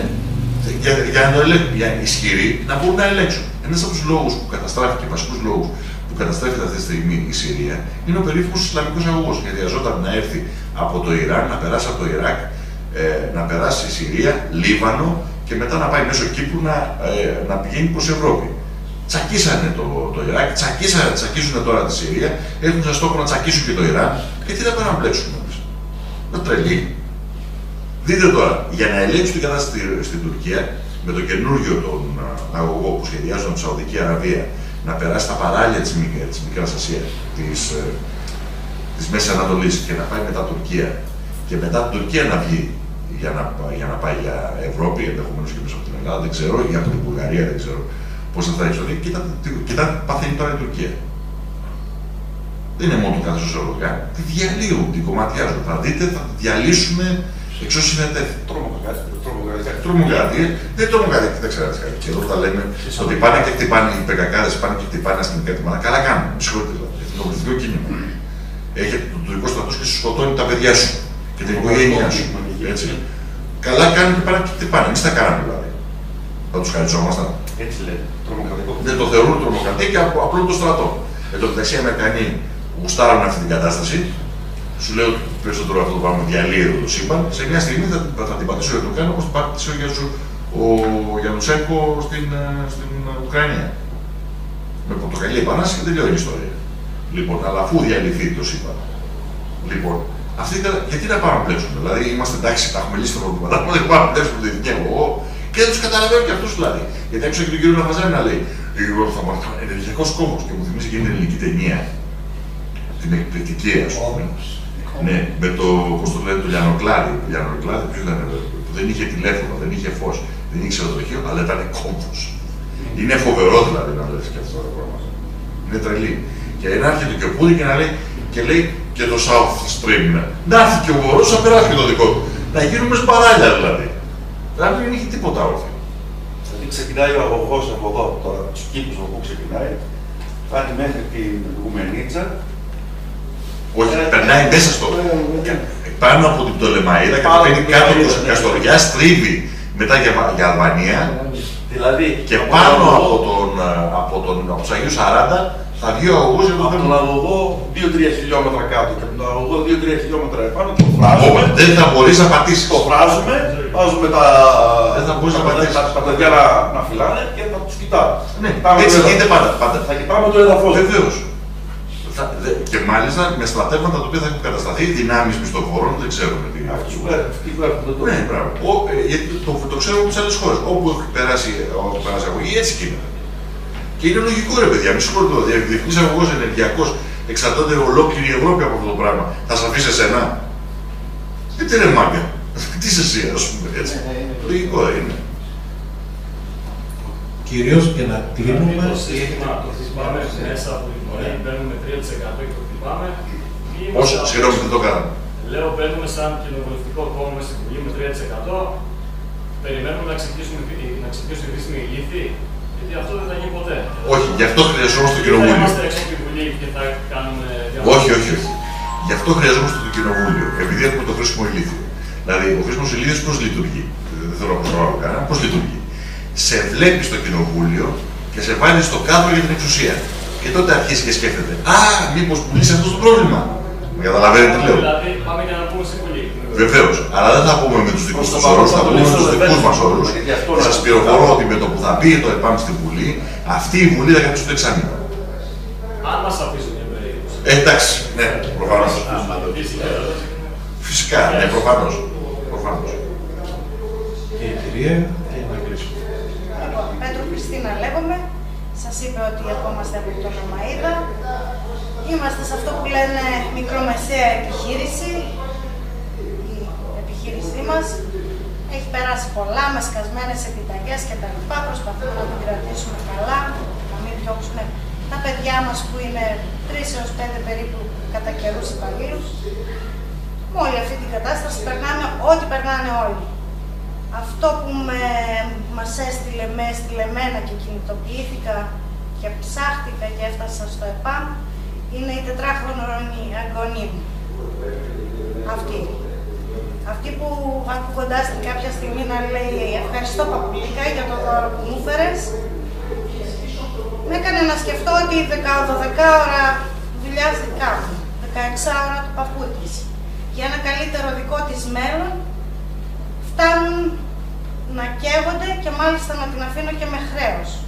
Και τι να την πω εγώ αυτή, η γενιά μου που την αφήνει με χρέος. Και επίσης την αφήνει και χάνει και από την πρίκα της, της χώρας. Αυτή που μας τη δώσανε για να τη χρησιμοποιήσουμε απλά και να τη μεταφέρουμε στα παιδιά μας. Χάνει αυτή η εγγονή μου και όλα τα παιδάκια του κόσμου και αυτό θέλω να ρωτήσω εγώ. Τι γίνεται με όλα αυτά που χάνουμε, τα αεροδρόμια μας, τα λιμάνια μας που δεν τα αξιοποιούμε; Και δεν, δεν θα τα έχουμε. Τι γίνεται, πώς θα τα πάρουμε πίσω όλα αυτά; Α, είναι πανεύκολο. Το μόνο δύσκολο είναι αν χάσει εθνικό έδαφος. Όλα τα άλλα είναι εύκολο. Μέσα σε 24 ώρα τα παίρνεις πίσω. Γιατί είναι όλα παράπονα, παράνομα. Και κάνεις μόνο κα- ένα πράγμα. Τους στέλνεις στη δικαιοσύνη επί εσχάτη. Όλους. Όπως κάνουν οι Ισλανδοί. 15.000 κάθισαν στους καπνί. Τραπεζίτες, πολιτικοί, αξιωματούχοι. σε μια χώρα όπου όλος ο πληθυσμός είναι 320.000. Ψαράδες. 300. Και τους καθίσανε στο σκαμνί. Γιατί; Γιατί με αυτόν τον τρόπο δεν είναι το μόνο το περί κοινού δικαίου αίσθημα, ώστε να καταλάβει ο πολίτης ότι εδώ τα πράγματα αλλάζουν πλέον. Γυρίζουμε σελίδα. Γιατί αν δεν, πά- δεν, δεν δικαστεί αυτός που μας έφερε εδώ, αν δεν μάθει ο υπεύθυνος ότι όταν βάζει μια υπογραφή και, και οδηγεί σε θύματα, πεθαίνει κόσμος ή καταστρέφεται κόσμος, έχει και ποινική ευθύνη. Δεν έχει μόνο πολιτική ευθύνη, να μην το ξαναψηφίσουμε. Έτσι και ποινική ευθύνη όπως έχουμε όλοι μας στου Ταζόρου. Θα παίρνουμε αποφάσεις καταστροφικές για το διπλανό μας. Έτσι δεν γίνεται. Λοιπόν, αν δεν γίνει αυτό το πράγμα, δεν θα διορθωθεί η κατάσταση αύριο. Και το δεύτερο, πολύ σημαντικό είναι μπορείς να πεις στους δανειστές σου στη διεθνή κοινότητα, μάγκες, κοιτάξτε να δείτε. Όλες οι υπογραφές που βάλαμε αυτοί είναι άκυρε.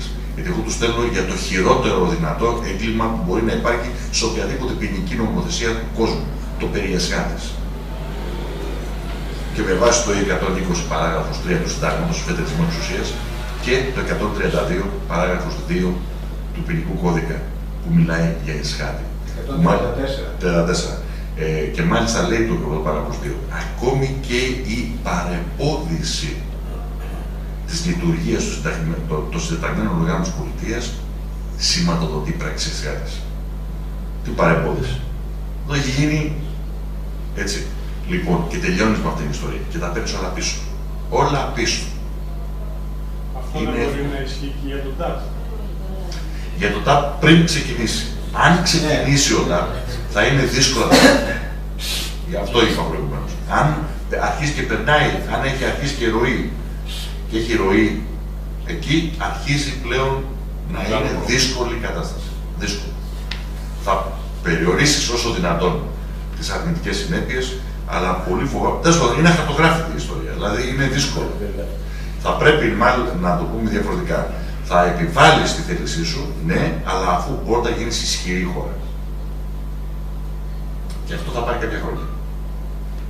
Δεν είπα να ανακάμψεις απλά. Να είσαι ισχυρή, να έχεις ένοπλε δυνάμεις πραγματικές, διεθνείς συμμαχίες, ιστορίες, όλα αυτά τα πράγματα και να τους πεις εκεί πέρα σε καμιά στιγμή, κοιτάξτε μάκε, αναθεωρούμε όλη την πολιτική, ξυλώνουμε τον αγωγό από εδώ πέρα, δεν γουστάρουμε παιδιά. Οπότε ξέρεις ότι δεν μπορούν να σου κάνουν τίποτα και να τελειώσεις. Σαν την ιστορία. Αλλά πρέπει η χώρα να πατάει πολύ γερά, ώστε να μην θέλει κανένας να εμπλακεί μαζί της. Έτσι. Έχουμε και γεωστατική θέση εξαιρετική, αλλά πρέπει να την ξέρουμε να την υπερασπιζόμαστε, έτσι. Όχι να είμαστε σκορποχώροι. Μόνο έτσι. Αλλά σου λέω, εικασίες κάπου. Γιατί αυτό είναι αχαρτογράφητα νερά δεν ξέρει κανείς πώς θα το χειριστεί. Το μόνο που ξέρεις είναι ότι πλέον μπλέκεις άσχημα. Μέχρι τώρα όλο το διεθνέ δίκαιο, το εσωτερικό δίκαιο, το ευρωπαϊκό δίκαιο είναι υπέρ σου. Εκεί, σε εκείνο το σημείο, από τη στιγμή που λειτουργεί, το διεθνές δίκαιο θα είναι σε βάρος σου. Γι' αυτό το λέω. Έτσι. Ε, είπα, στην αρχή είπατε ότι ε, βάσει το ξέχασα τη λέξη που να χρησιμοποιήσω. Ε, θεωρήσατε λίγο αστείο το ότι θα μας πέσουν οι Τούρκοι, ας πούμε, θα κατευθείαν θα έχουν προβλήματα με τους Ισραηλινού, του Ουκρανού, με τον οτιδήποτε. Ε, και τώρα μιλάμε για εθνική κυριαρχία, για δυνατέ ένοπλες δυνάμεις κλπ. Και έχουμε ο κύριος Κυπρέο, είπαμε, είναι στα δικό μα στο στρατιώνα. Ε, θα μπορούσατε να μας δώσετε μια εικόνα για το ποιες είναι οι. κατά πόσο υπάρχει το αξιόμαχο των. Τώρα. Ναι. Κάτσε να δείτε τώρα.